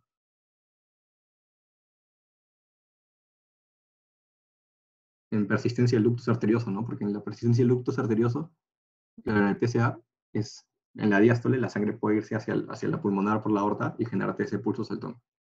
Y acuérdense que la persistencia del ductus arterioso, siempre la sangre pasa del lado izquierdo o derecho, antes de que haya el Eisenmenger. Entonces encuentras un soplo que es sistodiastólico, que es continuo. En realidad en los niñitos no encuentras ese soplo, se encuentras uno sistólico, pero lo típico es uno sistólico y diastólico, y se le llama soplo en maquinaria también, o maquinaria de Gibson. Le dicen. Eso si lo ven en pediatría o si no en pediatría 1. Entonces, regresando a lo de radiografía de tórax, si el mecanismo de, este, de TEP es espacio muerto, ¿por qué ocurre hipoxemia? ¿Alguien sabe? Porque el, espacio muerto, o sea, que se bloquea la arteria, y ya no ventila, eh, el alveolo ventila, pero no hay, no hay arteria para que pase. ¿Por qué ocurriría hipoxemia en un TEP? Si el espacio muerto no es un mecanismo de hipoxemia, por alteración BQ, ¿sí o? Como está mencionando Catalina. ¿Y por qué ocurre la alteración BQ? Lo vamos a ver ahorita. Lo otro es si el espacio muerto puede producir hipercapnia, como lo vimos anteriormente por la formulita. ¿Por qué en TEPA hipocapnia? Lo típico porque es un cuadro agudo, entonces el paciente hiperventila. Ese sí, ese sí está claro, ¿no? Como hiperventila, obviamente si es que se cansara va a ser hipercapnia, ¿no? Pero como es un cuadro agudo, viene hiperventilando y hace hipocapnia. Entonces lo típico de TEP, como está acá, acá está arriba, es una gradiente elevada. Cuando es una gradiente elevada, ¿por qué? Por la alteración BQ que a ver ahorita, tiene que sospechar en TEP. También un paciente con hipoxemia o PCO2 bajo por la hiperventilación. Entonces, en TEP lo que ocurre es que se bloquea acá la arteria, un tromboembolismo pulmonar, por ejemplo, y el flujo va a ser cero. Tú tienes tu gasto cardíaco que es normalmente 5 litros por minuto, y si tú bloqueas acá el flujo, lo que hay es que toda la sangre que debería pasar por acá, obviamente si es que es un TEP significativo, por ejemplo, un tercio del pulmón, que todo esto sea tus dos pulmones, un tercio de los dos pulmones está bloqueado, todo el resto de la sangre tiene que ir por los otros vasos. Y como tiene que ir por los otros vasos, acaba a aumentar el flujo. Obviamente tú puedes compensar ventilando un poco más, pero si es que este flujo es tan grande que por más que tú ventiles no va a compensar, va a haber un mismatch BQ con un BQ menor de 1. Y el BQ menor de 1 se llama alteración BQ, ¿no? En este caso BQ infinito que sepa si un muerto que no te genera hipoxemia sino indirectamente genera hipoxemia por el mismatch BQ que ocurre por el aumento de flujo hacia otras zonas. Obviamente en un TEP pequeño no te va a ocurrir hipoxemia porque este aumento de flujo es compensado rápido con una hiperventilación. Pero si es un TEP severo te puede causar hipoxemia. Entonces la alteración BQ no se, ocurre, no se olvida en el mecanismo en el TEP. Y esta es otra cosa importante que ya lo van a ver en el pero creo que ya están viendo un poco en, el, en TEP masivos, puede ocurrir este patrón que se llama S1, Q3, Q3 T3. O sea, es poco sensible, es decir, que si no está, no te descarta, pero es bien específico, es decir, que si está, te acerca bastante, ¿no? Entonces, la, la mnemotecnia o el nombre también S1Q3, Q3T3 te permite este, entender qué significa, que es un S en la derivada 1, como ven acá, una Q en la derivada 3, como ven acá, y una T en la derivada 3, pero la T en verdad, si quieres aprender una mnemotecnia, la invertida, porque es una T invertida en la derivada 3. Entonces, S1Q3T3 es algo raro que ocurra, pero que lo tengan en cuenta porque lo suelen hacer en las preguntas. Un patrón de, electro, de, electrocardiograma. Ahora, solo brevemente para que sepan más o menos cómo es el TEP y cómo se hace en, en pacientes hospitalizados que están postrados. Obviamente tú dices, tienes que darle anticoagulación para evitar que haga un tromboembolismo pulmonar. Lo que se suele hacer en pacientes del hospital es hacer la escala de Padua, que es esto que hay acá, que son distintos factores de riesgo. Tú sumas a tu paciente y si tiene mayor de 4, tiene riesgo alto de trombosis venosa profunda, que obviamente tiene riesgo de embolismo pulmonar. Entonces, el paciente hospitalizado que cumpla mayor igual de 4 de Padua y que no tenga contraindicaciones como están acá, este, está aceptado la, la profilaxis, ¿no? Como heparina o enoxaparina. Enoxaparina suelen dar en el hospital, que es una heparina bajo, bajo peso molecular.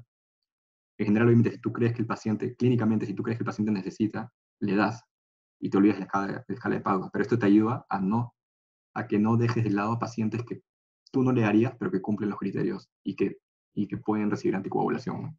Entonces, por si acaso alguien, alguno pregunta, ¿por qué le voy a él y no le voy a otro? O sea, un paciente que no tiene las pantorrillas hinchadas, no tiene, no tiene este, insuficiencia venosa, ¿por qué le daría si es que cumple mayor o igual de cuatro de estos criterios? Y si lo leen, todos son factores de riesgo en realidad para, para tromboembolia o coagulabilidad para un paciente que ya tiene tromboembolismo, este, trombosis venosa profunda, o sea, tú lo ves así con la rodilla hinchada o te viene porque tu pierna le duele, está hinchada, está roja, puede ser celulitis y puede ser trombosis venosa profunda, sí.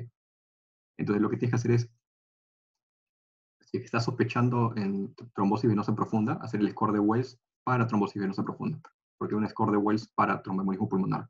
Entonces les explico porque de ahí lo llaman en neumo y a veces no se entiende bien y en verdad es bien fácil entender el panorama general, ¿no?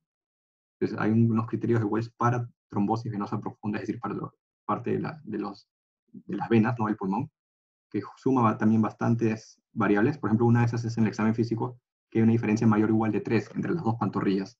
Eso es algo que ustedes pueden medir al examen físico y te podría acercar al diagnóstico, ¿no? Entonces, si cumple mayor o igual, si cumple mayor o igual de 2, la probabilidad de, de trombosis venosa profunda es, este, es mayor, ¿no? Solo que acá se ha puesto al revés, creo. Bueno, la cosa es, mientras más variables tiene el punto de corte es 2, aumenta tu riesgo pre-prueba es alto de tener una trombosis venosa profunda. Si, si es menor de 2, tu riesgo pre-prueba es bajo.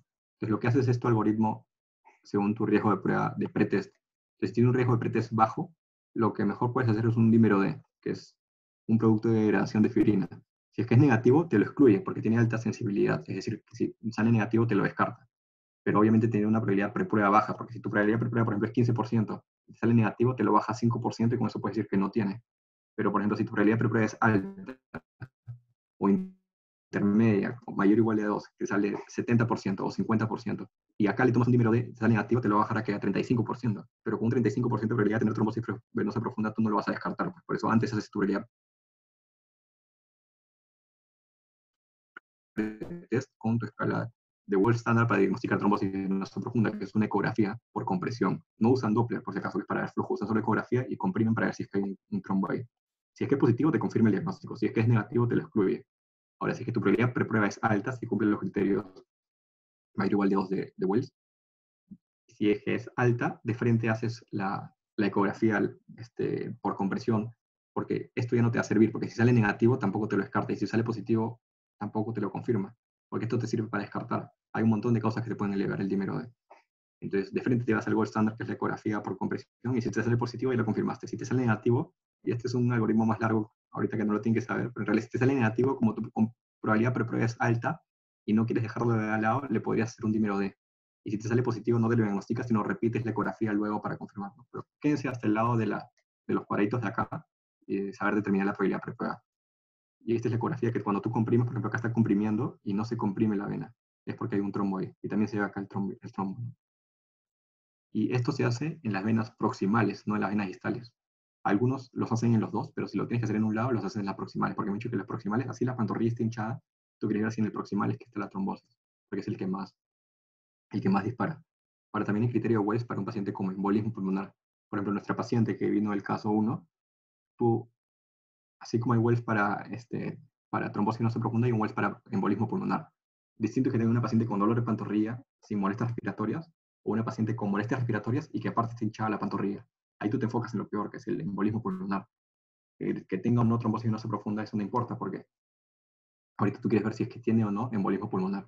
Entonces, haces así los, haces el mismo score, por ejemplo, uno de ellos es que tiene signos o síntomas de trombosis venosa profunda que te acercaría al diagnóstico, y creo que el punto de corte es 4, y si es que es mayor o igual de 4 en realidad, mayor de 4, pero el es mayor o igual de 4, acerca al diagnóstico. Entonces, es la misma idea. Si es que te sale baja la probabilidad preprueba, haces un dímero D. Si es que es negativo, te lo descarta. Si es que es positivo, haces el gold standard. Pero el gold standard para ver un tromboembolismo pulmonar es una angiografía pulmonar, es decir, pero por tomografía, angiotomografía pulmonar. Angiografía pulmonar es meter contraste a la vena y ver el contraste que llega a las venas y ver cómo, cómo, cómo están esas venas, pero es invasivo porque es el cateterismo metes un catéter hasta, hasta la arteria pulmonar y ahí le metes el contraste. Pero es bien invasivo la mortalidad y tiene riesgos de mortalidad, ¿no? Entonces mejor haces una tomografía con contraste sistémico sin meter un catéter que te va a pintar las, las venas, las arterias también. Y, y según eso puedes ver si es que hay un tromboembolismo pulmonar. Entonces sería algo estándar, que es una angiotomografía. Si es que el número de sale negativo con baja probabilidad, te lo descartes. Si te sale positivo, haces la angiotomografía para confirmarlo o descartarlo. Y si tu probabilidad es alta, de frente te vas al algo estándar, ¿no? Similar al caso de, que vimos de trombosis venosa profunda. Pero es algo que, este, que al inicio me confundía y me acuerdo que siempre preguntan cuando viven en Clínica Médica 1, según la probabilidad, qué es lo que haces, y a veces confunden. No te piden calcular el WELL, simplemente te lo dan. Un paciente viene con probabilidad preprueba alta de tromboembolia pulmonar, ¿cuál es el siguiente paso? Te ponen número D, este, angiotomografía, etcétera, y tu marcas la angiotomografía. Entonces, otro score que ahorita ya no le voy a decir porque voy a hablar más de TEP, ¿Tienen preguntas de lo del, de lo del, de lo de trombosis no profunda y? Esto era el único largo en realidad de los demás, de todos los casos, porque quería que aprendan esta parte que a veces confunden. Bueno, si no tienen preguntas, entonces un diferencial importante es el quiste de Baker, que sí les puede entrar porque es soma, es simplemente una, como una bursa, un espacio sinovial que está comunicado con el espacio de la articular de la rodilla, que está en la, fase, en la parte poplitea. Y el paciente, por ejemplo, con artritis reumatoide se puede llenar de líquido e hincharse. Y se vería así bien hinchado en la zona poplítea. El problema es cuando se rompe, todo el líquido puede derramarse a la pantorrilla, la pantorrilla hincharse y causar dolor y parecerse una trombosis venosa profunda, ¿no? Hay preguntas de STEPS que te dicen si eso no es. Obviamente tienes que hacer todo tu algoritmo, porque así tú sospeches esto, tienes que pensar lo peor siempre. Pero algo típico de quiste de Baker roto es que tiene este signo de la semiluna, que es como un moretón en los malleolos que parecen semiluna. Entonces, si te describen algo así en una pregunta de examen, que es lo que está acá, te vas más hacia el quiste de Baker roto. Pero obviamente en un paciente que tiene con dolor de pantorrilla, así tenga esto, tú le tienes que hacer su score de Wells para trombosis venosa profunda y hacer los estudios que merecen, ¿no? No porque tiene este signo de decir, no, es, es un quiste de Baker, Baker roto, pero te puede ayudar para una pregunta de examen. Este que está acá, que es como un moretón en el maliolo en semiluna. ¿Alguien sabe cómo se llama esto? O sea, la clínica de esto. La flegmasia cerulea. Sí, flegmasia cerulea dolens, ¿no? Es, lo que es es la oclusión de todo el sistema venoso, o sea, profundo y superficial. Una trombosis venosa profunda, pero también superficial. Entonces, profunda te genera el dolor, la pierna hinchada, todo, pero la superficial hace que la, la sangre que entre no pueda regresar, ni siquiera por los vasos superficiales, entonces se pone todo rojo. Es una, es una trombosis venosa profunda, solo que obviamente mucho más severa. Manejas igual como cualquier trombosis venosa profunda, pero tiene ese nombrecito raro que a veces a los doctores les gusta preguntar, ¿no? Flegmasia cerulea dolens. Y también hay flegmasia alba dolens, que es lo mismo, suele ocurrir más en gestantes, pero es lo mismo, solo que solo se ocurre, solo se obstruye proximal la parte profunda y no la parte superficial. Entonces te genera edema, olor, todo, pero la sangre puede drenarse y te queda blanquito, no te queda rojo como el caso anterior, porque las superficiales están libres. Para acuérdate que lo que importa en trombosis venosa es la parte profunda, ¿no? También es otro tipo de trombosis venosa profunda, pero otro nombre propio. Esto solo se los dejo que es el cuadrito de, insuficiencia respiratoria. Acuérdense que si responde o no responde a oxígeno, puedes ver el, el, mecanismo y también según la gradiente alveolar arterial, ¿no? Que ya saben cómo calcularla por su formulita. Y ahora sí, regresando a, a radiografía. Ya, esa es la parte más larga de, de, un extra, el caso que quería ponerles. ¿Cuál no es parte del diferencial? Este es fácil, por ejemplo, marcaría. A ver, cuando cae un TEP hay una hipoxemia, ¿sea igual por el vasocluido no habría difusión? Pero, o sea, cuando hay un TEP pequeño, o sea, la, la, clínica más frecuente del TEP en verdad es asintomática, porque, porque la mayoría de TEP son pequeños, no le causan dificultad respiratoria al paciente, o sea, te ocluye el brazo, no hay difusión de oxígeno, pero como le dije, toda la sangre puede ir por, el, por los otros vasos y los demás alveolos pueden compensar. Y si es chiquito, va a ser casi insignificante. Entonces, el paciente puede ni siquiera darse cuenta, ¿no? Acá sería la D, claro, porque acuérdense las, las cuatro T's de, las cuatro T's, ¿no? Este, timoma, teratoma, terrible, linfoma. ¿Y el otro cuál era? Tiroides, ¿no? Entonces, en timoma, acuérdense, por ejemplo, ayer que les pusieron un caso, creo, o antes de ayer, de timoma va a veces en mujeres está asociado a... ¿Se acuerdan que está asociado a timoma? En algunas mujeres. A miastenia gravis, ¿no? Porque a veces ahí se producen los anticuerpos de miastenia gravis. Pero eso es un dato adicional. De mediastino, acuérdense, anterior, las cuatro T's, que sí se le pueden preguntar en el examen que les dije ahora. Posterior, acuérdense que siempre es algo neurológico, porque ahí pasan las cadenas simpáticas, o algún tumor neurológico. Solo acuérdense de eso. Y en el medio, en realidad está todo lo demás, ¿no? En el medio, si te pone un quiste broncogénico, piensas en el medio, porque ahí están los bronquios, ¿no? Entonces, las cuatro T's, acuérdense, y en tiroides puede ser un bocio, una, una neoplasia. Por ejemplo, este es un paciente que te ponen acá que viene con, con un bocio y se ve en la radiografía, ¿no? Una masa mediastinal superior, que lo más probable es que sea un, un según la clínica el paciente y lo que los hallazgos es un bocio. ¿Alguien sabe cómo se llama este signo? Signo de Pemberton. Pemberton, ¿no? Y que, por ejemplo, te puede indicar una tiroides grande que está comprimiendo las venas y, y, o un cáncer, por ejemplo, de pulmón que te esté mm, comprimiendo las venas. ¿Y qué venas ocurre? ¿Cómo se llama el síndrome que podría suceder acá? Síndrome de vena superior. El de vena cava superior, ¿no? O sea, que, que, el, el, que te obstruye la vena cava superior y haya un aumento de presión endocranial. Puede hacer, puede hacer algún... Se puede romper algún vaso sanguíneo la cara está roja. Este, puede ser un, un, un, bocio grande o puede ser un cáncer de pulmón una masa que hay en, el, en, el, en la vena cava superior.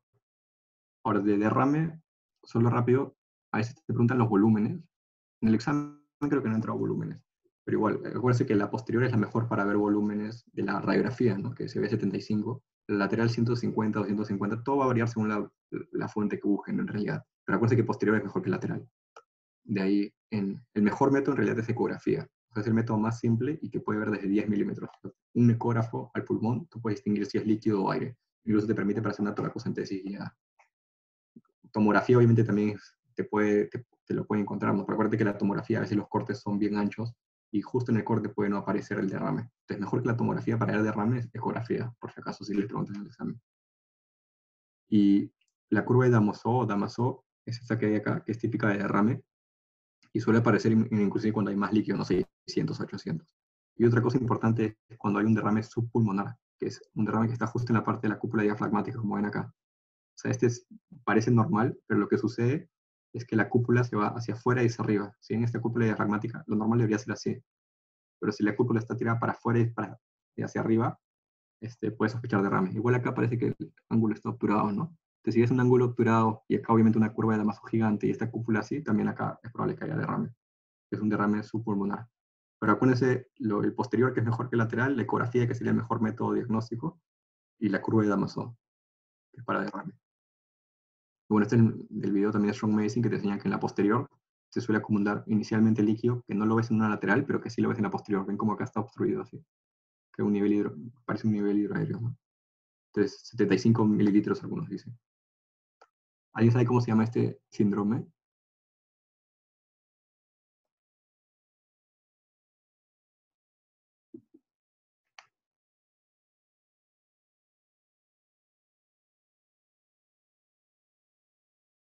Disculpa, no entendí la anterior. ¿Era mejor la lateral o la posterior?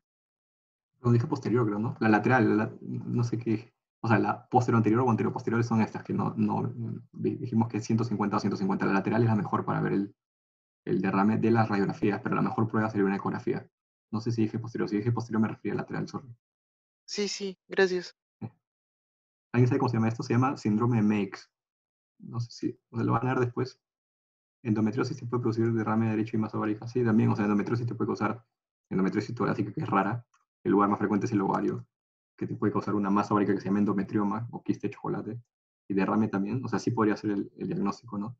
Pero el típico caso que les pueden poner derrame, asitis, porque asitis endometriosis, raro que te cause, y masa ovárica, sería un síndrome Meigs. O sea, es un otro, un síndrome raro, que de ahí lo pueden ver, pero para que se los voy mencionando por si alguna vez en una práctica se los preguntan y quieren decir algo chévere, ¿no? Que es derrame pleural, asitis y una masa ovárica. Esta masa ovárica suele ser un fibroma. Un fibroma es como un, este, es lo mismo que en, inglés le dicen fibromas, ¿no? En castellano es un, un, un mioma. Los miomas uterinos que ustedes ven de músculo, lo mismo si sucede en el ovario, le dicen un mioma ovárico o un fibroma. Si es que te asocias esto, que es benigno, con asitis y con derrame pleural, se llama síndrome Meigs, M-E-I-G-S. Eso es importante, o sea, en la clínica es importante porque una paciente con una masa ovárica y asitis, y paciente mayor, lo más probable es que sea un cáncer maligno ovario que se ha roto y que ha hecho una carcinomatosis peritoneal, que es líquido, se llena de líquido todo el, el peritoneo líquido maligno y su pronóstico es malo, ¿no? Pero este es un caso de una masa ovárica con asitis que es benigna. Tú sacas esto y todo se cura. Y que se asocia a derrame pleural más frecuente en el lado derecho, que es. Y todo es benigno, ¿no? Pero es un, un dato adicional. Otra cosa, uno que se tiene que tener en cuenta es cuando hagan en el hospital más o menos los valores para cada litro. No es exacto, por ejemplo, como ven acá en el video de Strong, conforme aumenta la frecuencia respiratoria, así le pongas más litros, va a ser menor FIO2.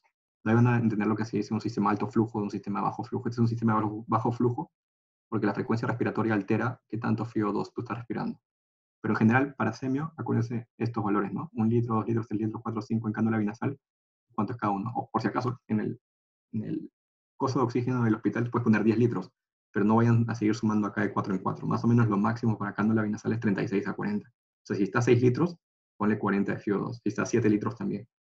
Entonces, lo normal es FIO2 es 21. Para un litro le sumas 3 y para todos los demás le sumas 4, 4, 4, 4. Y con eso sale. O sea, un litro 24, que es más 3, y de ahí 4 en 4, hasta 40 para cánula binasal.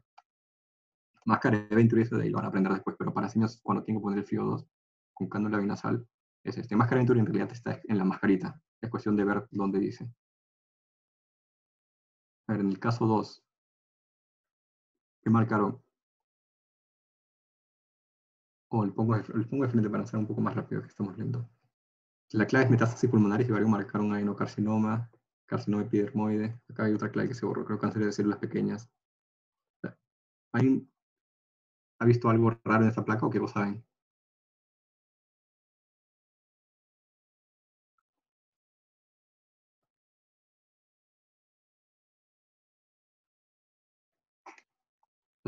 lo raro que hay en esta placa si ven, hay un montón de bolitas así. Cuando hay un montón de bolitas, siempre piensen en, en metástasis, o sea, no piensen en un cáncer pulmonar primario. Obviamente se lo van a dar después, pero es algo que para radiografía de tórax sí, sí me gustaría que lo vayan teniendo desde ahora. O sea, cuando hay un montón de nódulos, piensen en, estos son nódulos, más entre nódulo 3 centímetros, dicen algunos. Pero cuando hay un montón así, metástasis, algo primario del pulmón que sea por varios lados, es raro. Entonces acá la clave más probable sería metástasis pulmonares. Entonces, en metástasis, esto le dicen, obviamente esta, obviamente esta radiografía está mucho más clara que la anterior, ¿no? Más difícil porque está un poco menos claro. Pero en general, cuando ven así un montón de bolitas, piensen en metástasis y a veces a esto le dicen en balas de cañón, que son como un montón de balas de cañón, o también en, en, en globos, o sea, como en globos de aire, air balloons, como un montón de globitos que están. Estos son metástasis en balas de cañón o en globos, metástasis de cualquier lugar del cuerpo, como ven acá también un montón de nódulos o incluso masas algunos, si quieren decirle por el tamaño. Es más frecuente en la periferia y las bases, pero obviamente cuando es una metástasis masiva está en todos lados. Y es típico, acuérdense, no se lo tienen que acordar ahorita, pero si quieren ir sabiendo datos adicionales, en coriocarcinoma y cáncer renal. Pero algo que a veces algunos doctores suelen preguntar es que no esté en estómago. Y esto es importante. En estómago suele ser otro tipo de metástasis que vamos a ver ahorita. Y es importante porque, al menos en internado y externado, he visto tres pacientes que vienen con esta placa así tal cual, o menos notoria inclusive, como, como la del caso. Y dicen, ya balas de cañón, o sea, metástasis. O sea, es común que lo puedan ver en el externado internado. Ahora, ¿de dónde? Piensen siempre en coriocarcinoma o cáncer renal. Obviamente de algún lugar puede ser, ¿no? De gastrointestinal, que no sea estómago, testículo, próstata. Pero tienen que pensar dos, es coriocarcinoma renal. De ahí ganar en, en gínico que coriocarcinoma puede ser un cáncer después de la gestación y que es típico que haga esta metástasis. Pero no estómago, eso tenganlo en cuenta ahorita, porque hay otro tipo de metástasis a pulmón que se llama linfangitis carcinomatosa. El nombre carcinomatosa de cáncer y linfangitis de linfáticos. Y como es linfáticos es intersticio, entonces se ve como una fibrosis pulmonar literal.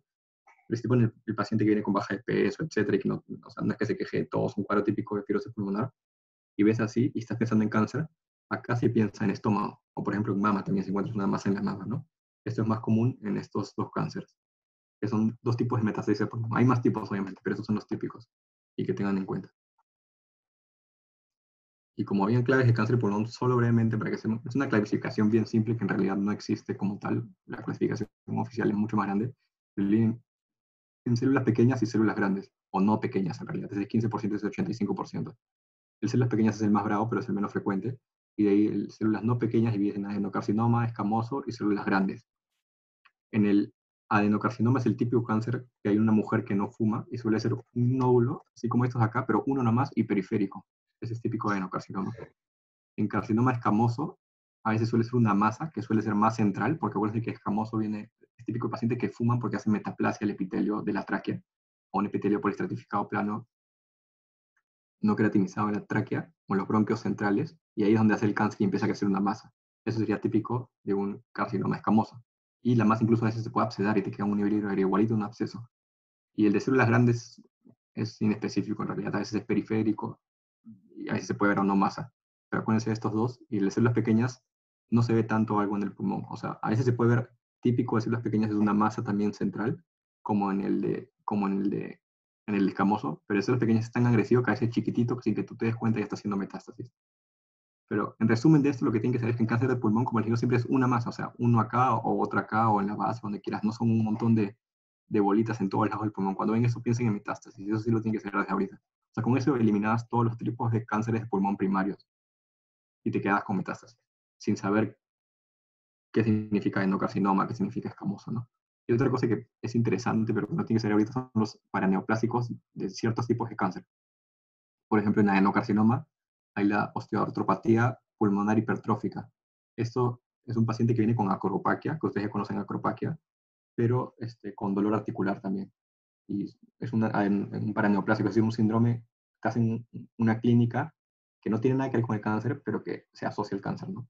En escamoso, por ejemplo, suele, el escamoso suele liberar PTH, es una hormona parecida a la PTH, Releasing Protein, Related Protein, que te causa hipercalcemia, porque la PTH, la PTH causa hipercalcemia. Entonces, un paciente con hipercalcemia y una masa pulmonar puede sospechar en, en escamoso. Igual el síndrome de Pancoast o tumor de Pancoast, que seguro lo han visto, que es el que está en, en el lápiz pulmonar, que te causa Horner, te puede causar molestias en el brazo, o a veces incluso síndrome de la cara superior. está más asociado a escamoso. En el células pequeñas, que les dije que es el más agresivo, se puede causar este, SIHAT, que es secreción inadecuada de hormona antidiurética, que el paciente hace hiponatremia, y Lambert-Eaton. ¿Alguien sabe qué es Lambert-Eaton? Como vieron este, miastenia graves, aprovecharé para preguntarles el Lambert-Eaton. ¿Saben qué es? Que para neuro les puede ayudar.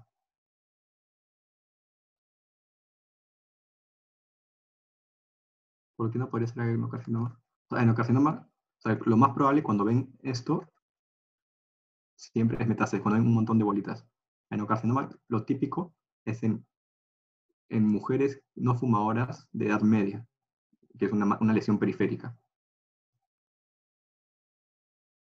El Lambert-Eaton, lo que es, o sea, lo pongo por curiosidad, no sé lo que tiene que ser ahorita, pero en mi miastenia gravis, ¿se acuerdan del caso que les puso César, que era una paciente, en miastenia gravis hay fatigabilidad, o sea, mientras más usas tus músculos, más probable que no los puedas usar al final del día. Entonces, la paciente con miastenia gravis, la típica paciente que durante todo el día parpadea, pero al final termina con tosis, porque ya los receptores de acetilcolina están bloqueados por los anticuerpos y el músculo ya no funciona.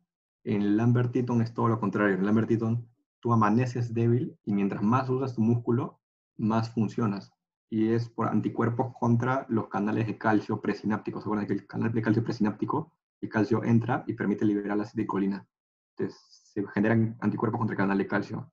Y en la parte clínica es que más usas el músculo, más funciona, menos debilidad tienes en el Lambert-Eaton versus miastenia gravis, que más usas el músculo, más fatigabilidad, menos funciona. Es un dato curioso para que lo vayan entendiendo ahora. Y Lambert-Eaton es un típico paraneoplásico, o sea, un síndrome que te avisa de un cáncer, en este caso de pulmón. Otro síndrome que de un cáncer es el síndrome de Trousseau, que es una tromboflebitis migratoria. Tromboflebitis es inflamación de la vena, como ven acá, que puede doler, picar, o pacientes que tienen los pacientes que están hospitalizados con su vía periférica, se puede inflamar un poquito y está rojo y le duele o le pica y te tiene que cambiar la vía. Pero si esto te sucede de la nada en todo el cuerpo, te aparece acá, de ahí desaparece en la otra pierna, ¿sí? hay que sospechar en un cáncer oculto. El típico cáncer descrito es un cáncer de páncreas, pero también puede suceder en otros, por ejemplo, acá en el adenocarcinoma de pulmón. Pero acuérdense del síndrome de Trousseau. Eso sí, eso sí, para semio me parecería importante que lo tengan en cuenta. ¿Alguien sabe este diagnóstico? Bueno, si les pongo este es obvio, ¿no? Pero, por ejemplo, esto, esto. ¿Qué sería?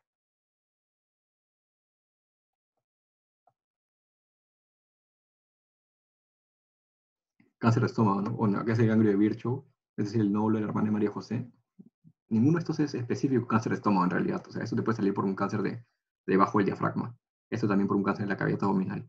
Pero si te pongo todo esto, lo primero que piensas al menos cáncer de estómago, pero no necesariamente es patognomónico, ¿no? Este es Virchow, este es María José.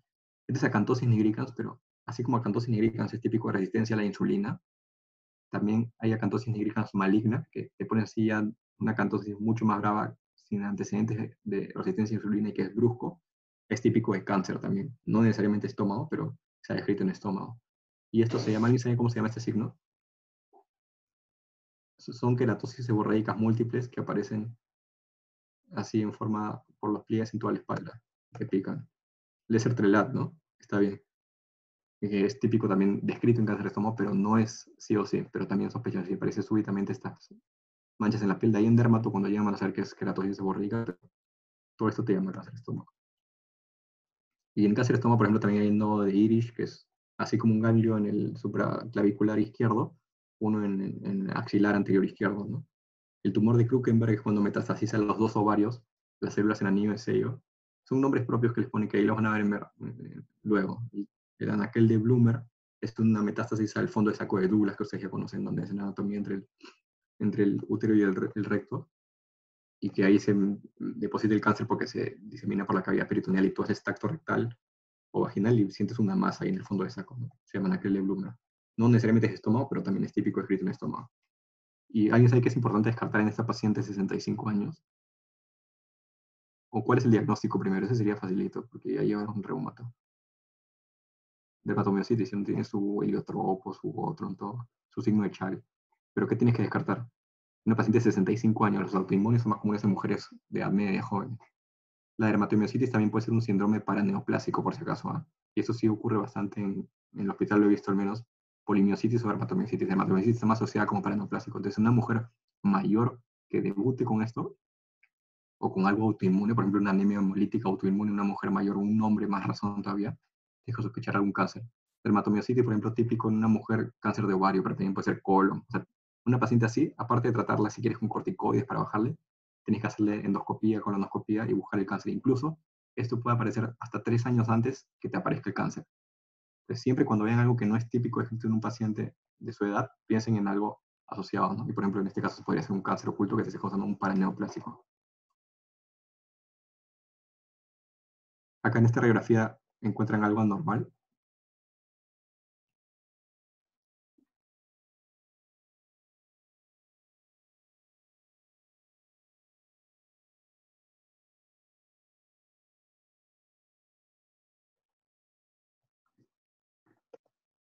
Es linfadenopatía iliar. Si se cansan podemos parar y continuar otro día, pero acá lo que ven es ganglios iliares, o sea, ven ensanchamiento, no el, o sea, el mediastino siempre hay que ver la parte superior al, al, botón aórtico que es acá, que no debería pasar los bordes de las vértebras como está en este caso, ¿no? Pero acá ven que hay, el, el ilio está como bien rechoncho. Si bien en ilio no puedes decir nada, cuando está así bien notable, puede ser linfadenopatía iliar, por no necesariamente, ¿no? Y esto puede ser típico, por ejemplo, en una tuberculosis. En un niño, lo más frecuente de la hallazgo es una linfadenopatía iliar. ¿Y en, un, en qué enfermedad autoinmune puedes encontrar este, ganglios mediastinales o iliares? ¿Alguien sabe? Una mujer afroamericana en sarcoidosis, ¿no? Entonces, o sea, crecimiento iliar, hay un montón de causas como ven. Acá en Perú, acuérdense de tuberculosis. Sarcoidosis es un dato, si quieren, para este, es otra cosa, pero tuberculosis en Perú, sobre todo una placa así en un niño, te hace sospechar en En adultos es menos frecuente, ¿no? Pero en niños acuérdense este, linfadenopatía biliar, o cómo se ve aunque sea. Y como ven, hay un montón de causas de linfoma, metástasis, todo lo que quieras, si es unilateral o bilateral. Pero típico en TB, y si quieren hacer un dato adicional en sarcoidosis, pero tendría que ponerte la clínica de sarcoidosis. Y para sarcoidosis, algunos le dicen este signo del 1, 2, 3, ¿no? Como un paquete acá crecido para traqueal derecho, 2 iliar derecho y 3 el iliar izquierdo. O el signo de Garland también le dicen. Ese es un dato adicional. Este, ¿Alguien sabe cómo se llama esto? El examen físico. Se palpa más que se ve y le duele a la paciente, apareció recientemente. Sí, eritema nodoso. Y se asocia también a qué cosas se puede asociar, por ejemplo. En sarcoidosis y tuberculosis, acuérdense de tuberculosis y de no sarcoidosis, ¿no? Pero TB también. Es una paniculitis septal. Entonces, es una paciente que le duele en la parte anterior de las pantorrillas y son nódulos. O sea, acá tú ves rojo, pero cuando tú lo palpas se sienten nódulos. Por eso el nódulo se palpa más que se ve. ¿Y alguien sabe cómo se llama esto?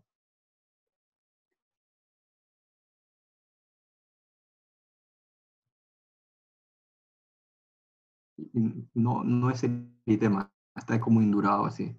Este es más difícil, en verdad es dermato, pero se los pongo porque a mí me hubiera gustado saberlo desde, desde remoto cuando hablaban de los del rash malar y todo eso, si es que esto es indurado, no desaparece al tacto y se siente como, o sea, como digo, más durito alrededor, rash malar no es, porque rash malar es como eritema malar en realidad. El eritema es una, un, un, enrojecimiento, no es algo que, no es algo que, que sea duro o, o, o, como escamoso, ¿no? Rosácea, rosácea puede ser también, porque hay telangiectasias como esa acá, es típico rosácea también, o sea, sí podrías decir que es rosácea, cloasma en realidad, cloasma es lo del embarazo que se pone, que se pone este, por los estrógenos y progestágenos, se pone más oscura la piel incluso se queda para después. En sarcoidosis puede aparecer exantema heliotropo, no, el signo heliotropo es lo de los, lo del, lo del, lo de los párpados. No sé si exantema heliotropo se llama al rash de dermatomiositis, pero en, en dermatomiositis también puede aparecer un rash malaria, eso es importante.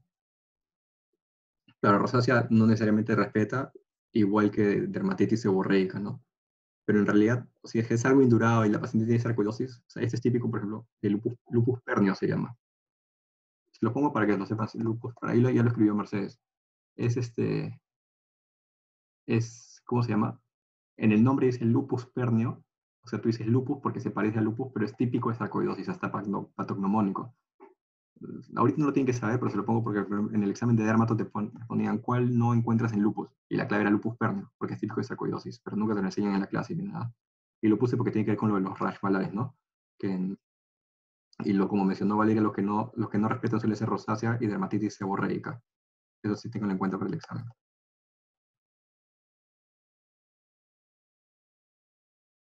Entonces, en el tercer caso, varios se equivocaron también, creo, pero está difícil. Este es, o sea, en realidad parece un absceso. Bueno, estructuras que tienen algo parecido a dientes, seguro lo pusieron por, por este, por equinococosis, ¿no? A ver el signo que hay en equinococosis. Les puse el, el distractor de que vive en una chakra para ver si la marcaban esa. En realidad, 12 años para que tenga un quiste hiatídico tan grande. O sea, para el quiste demora en crecer primero y no te ponen el cuadro típico, ¿no? ¿Alguien sabe cómo se llama cuando botas ese esputo salado por la boca en equinococosis? Vómica, ¿no? Se llama vómica.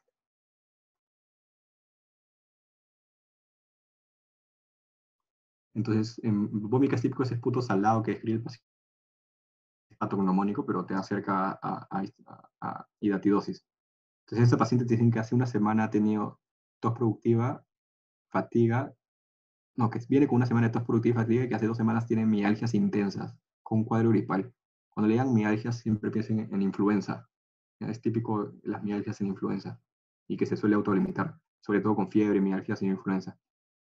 Ahora, en un paciente con, que ha tenido influenza, tiene mayor riesgo, esto ya lo van a en infecto, solo lo puse para hablar de cavidades en realidad, no importa que se hayan equivocado, pero tiene mayor riesgo de infectarse con estafilococos aureus durante la influenza o luego de la influenza.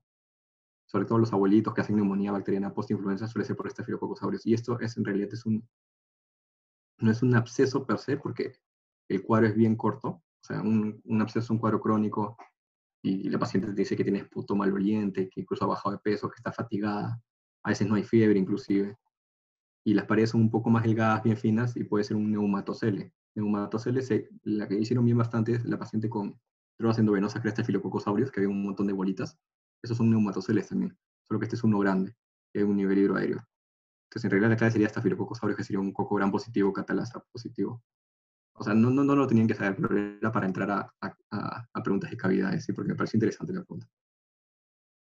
Lo que sí tienen que saber, no para semio quizás, pero sí para clínica médica, uno que lo vean el próximo siglo y que siempre preguntan de básicas, es esta descripción de, los, de las bacterias, sobre todo solo tres o cuatro bacterias, que son streptococos y estafilococos, bueno, y, y Neisseria, que lo vamos a ver después. Catalasa positivo, estafilococos, y catalasa negativo, streptococos, algo que tiene que saber desde ahora. Y estafilococos coagulasa positivo es aureus. Pero en los exámenes de clínica médica lo que siempre ponen es la forma, describir la forma. Entonces, bueno, diplococos, gram negativos, Neisseria, sea gonorrea o meningitis, olvídense lo demás, entonces se lo van a ver ya de ahí para step 1 o ename inclusive. Pero si en el examen les escriben coco gram positivo encapsulado en cadenas o diplococo, o sea que dos en cadenas que pueden ser 5, 6 o de 2 en 2, es típico, ¿alguien sabe de qué? De neumococo, streptococo pneumoniae. Entonces, acuérdense que si te escriben cadenas diplococo es neumococo. Y esto te lo van a preguntar en clínica médica 1, por eso lo ponía. Y porque no te lo repasan después, ¿no? Porque se supone que ya lo tenías que saber. Si te ponen catalasa positivo, coalasa positivo, pero en racimos, así bien como si fuera de uvas, es típico de Staphylococcus aureus. Y si te ponen diplococos gram negativos intracelulares, es típico de Neisseria, sea gonorrea o meningitis, ¿no? Si está en líquido cefalorraquídeo, meningitis, si está en secreción uretral, gonorrea. Pero ténganlo en cuenta para los exámenes de clínica médica. Entonces, en lesiones cavitarias, hay una mnemotecnia que te dice cuáles pueden ser las causas, desde cáncer, autoinmune, vascular, infección, trauma y algo de la juventud como un quiste broncogénico. En cánceres, acuérdense que si lo mencioné anteriormente del escamoso, suele ser una masa central, en este caso es periférica, que es lo contrario lo típico, que se suele absedar y tiene un nivel hidroaéreo. Entonces, esto es importante porque tienes un paciente que viene con esto, pero tiene antecedentes de fumar, de baja de peso. O sea, puedes decir, sí, es un absceso, pero también puedes sospechar en cáncer. Entonces, acuérdense que los cánceres pueden formar una cavidad y absedarse. Y no es que con la placa puedas decir si es uno u otro. Eso es importante.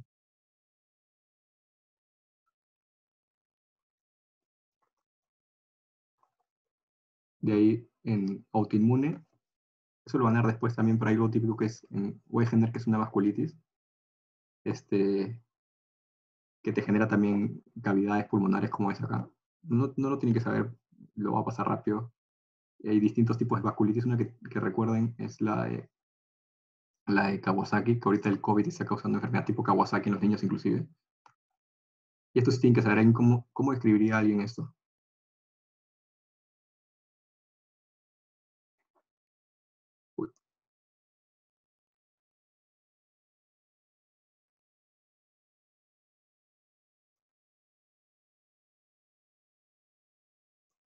¿Cómo lo describirían? Se describe como púrpura palpable. Cuando hables de púrpura palpable, es púrpura porque tú aprietas y no desaparece la lesión. Y palpable porque es elevada. Es típico de vasculitis, piensen en vasculitis, pero púrpura palpable sí, apréndelo para semia.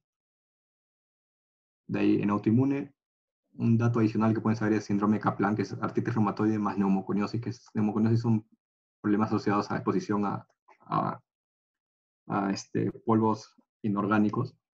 Y ahí, cuando se forman nódulos en un paciente con artritis reumatoide y neumoconiosis, se llama síndrome de Kaplan. Es un dato adicional que ahorita no tienen que saber.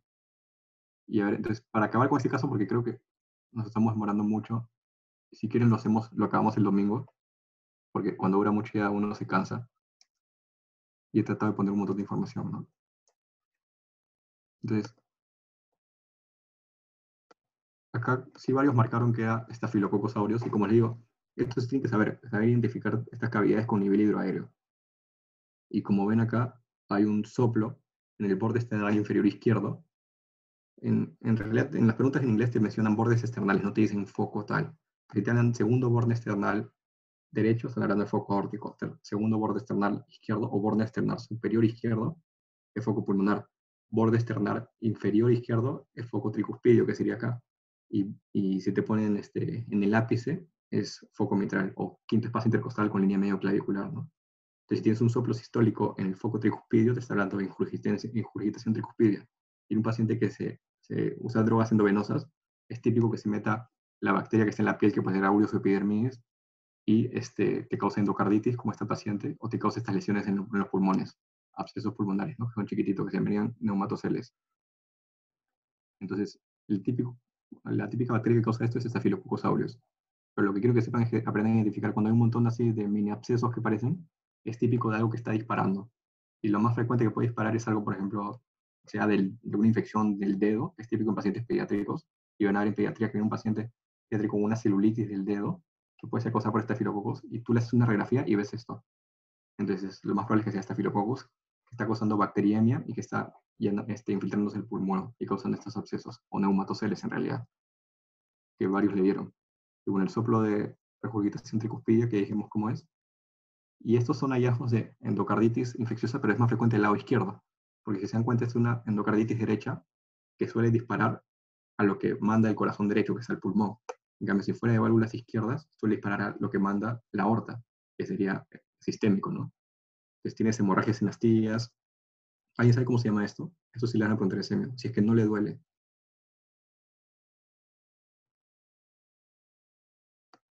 No, si es que no le duele, ¿cómo se llama? Se llaman este, manchas de Genway, ¿no? Nódulos en realidad no, porque no son tan nódulos, sino manchas de Genway, si es que no le duele. Y el de acá sería nódulos de Osler, que le duelen. Ahora, si no le duele, es Genway, y si sí le duele, es Osler. Son eh, fenómenos embólicos e inmunológicos de la endocarditis del lado izquierdo. ¿Y alguien sabe cómo se llama esto en el fondo de ojo? Que es un, un infarto así blanco rodeado de hemorragia. Manchas de Rob, ¿no? No es patognomónico de endocarditis, ah, puede suceder un montón de cosas, desde diabetes hasta leucemias, pero si lo ven en endocarditis se hace sospechar también. Eso sí le pueden preguntar en oftalmo. Y este es el típico caso que te pueden poner en pediatría, un niño que está con el dedo infectado, una celulitis afectada, y que en el pulmón, bueno, acá no se ve bien, pero te ponen un pulmón igualito al de acá. Tú dices, eso es una celulitis por estafilococos que está disparando al pulmón, ¿no? Y lo hospitalizas y le inicias tratamiento. Obviamente cultivas y todo, pero te pueden poner así de ahí en infecto un caso típico y tú marcas estafilococcus. Entonces, creo que hasta acá llegamos para no saturarlos, porque me pasé un poco de diapos, como siempre. Y el domingo podríamos seguir. hay, hay, varios datos que les he puesto que, que, que, ahorita no los tienen que saber y se los pongo en realidad por curiosidad, pero también de ahí, voy de ahí en los siguientes diapos también hay bastante de semio que sí lo tienen que saber y que sí les pueden preguntar ahorita, ¿no? Entonces, ¿tienen, algunas preguntas, alguna pregunta hasta ahorita? Antes de acabar y continuar el domingo, creo que han dicho los GERSEC.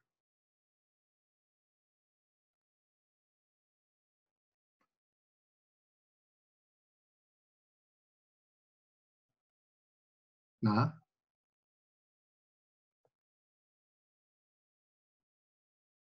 Ah, las maneras para aumentar la intensidad de los soplos, eso los iba a decir en otro siguiente caso en el caso de la, de estenosis mitral, que es el último. Ahí va a hablar todo de soplos y las maniobras para aumentar de soplos. pero como está bien, y lo vamos a hablar al final, o sea que es uno de los últimos casos. Vómica se ve en, en, este, en hiatidosis, que es las membranas. De ahí vamos a ver cuál es el signo de hiatidosis en radiografía de tórax, no se preocupen, ¿no? que es el signo del camalote o el water lily, eso también lo he puesto después. Es típico el, el puto así salado, a veces medio como si fuera suero salino, ¿no? como si fuera el que, que tú tomas el cloruro de sodio y sabe a sal. Si el paciente te describe eso, sospechas en un quiste obviamente roto, porque tiene el nivel hidroaéreo. Si no estuviera roto, no va a tener dónde botar, ¿no? O sea, adenocarcinoma, hay un, en verdad, si ustedes buscan los tipos de adenocarcinoma, hay un, hay un montón de subtipos, o sea, desde el difuso que te puede causar patrón miliar inclusive, o nódulos más grandecitos, hasta el adenocarcinoma tipo bronquiolo alveolar, que te puede causar una neumonía, como si fuera una neumonía, un consolidado, igualito a una neumonía, pero que es un tipo de cáncer pulmón que se llama adenocarcinoma, la variante bronquiolo alveolar, que es un tumor de las células claras. Pero, o sea, lo más probable en un paciente que te pongan así, antes de pensar en unos subtipos raros de cánceres, es metástasis, ¿no? Sobre todo eso típico balas de cañón. Y se lo puse porque es placa de tórax, y segundo porque es frecuente en el, en el, en el, este, en la práctica del hospital. Neumonía cavitaria neumatocelia, o sea, neumonía cavitaria, supongo que te refieres o absceso o a tuberculosis que deja cavitaciones, ¿no? En realidad, neumatocelia tiene paredes más delgadas. Es, es difícil de distinguir, no es que por una placa puedes decir, obviamente, no tienes que ir a la clínica y todo, pero acá, por ejemplo, si se dan cuenta, las, las paredes de este, que se llaman neumatoceles, son delgaditas, no hay tanta inflamación alrededor. Bueno, tiene nivel hidroaéreo porque está inflamado, le puedes decir absceso, no suelen decirle a los, a los émbolos sépticos que se llaman, que disparan émbolos sépticos del corazón y siempre esos tipos de mini abscesos, por así decirlos, que también les llaman neumatoceles. También a veces llaman neumatoceles a, las, a esas especies de bulas que encuentran en EPOC, pero si se encuentra todo eso tiene pared delgadita.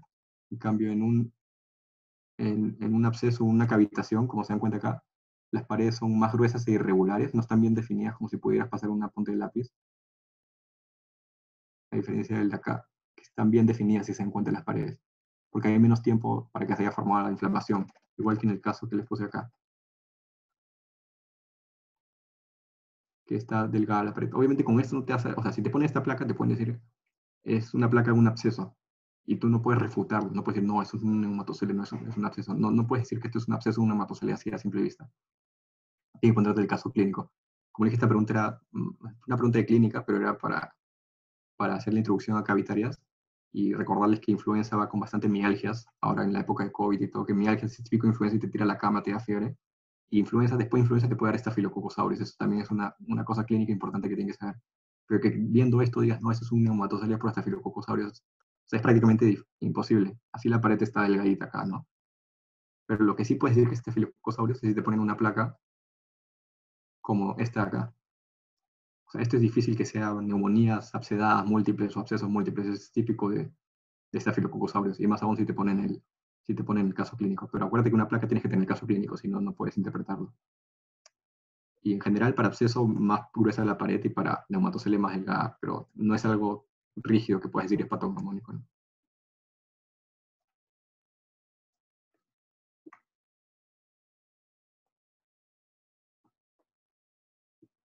¿Tengo una otra pregunta o acabamos? Bueno, y para, solo como, como datito adicional, este era, la respuesta era la B, que era reposicionar al paciente así que la masa se mueva, porque es un aspergiloma. Ya lo vamos a ver después, porque es un aspergiloma. Y el, y el domingo acabamos, entonces, lo que, lo que faltaría. Y ahí sí vamos a hablar bastante de semio, por si acá. Todo lo de soplos y examen. Los soplos más que nada, cardio. Bueno, si no tienen más preguntas, acabaríamos. De nada.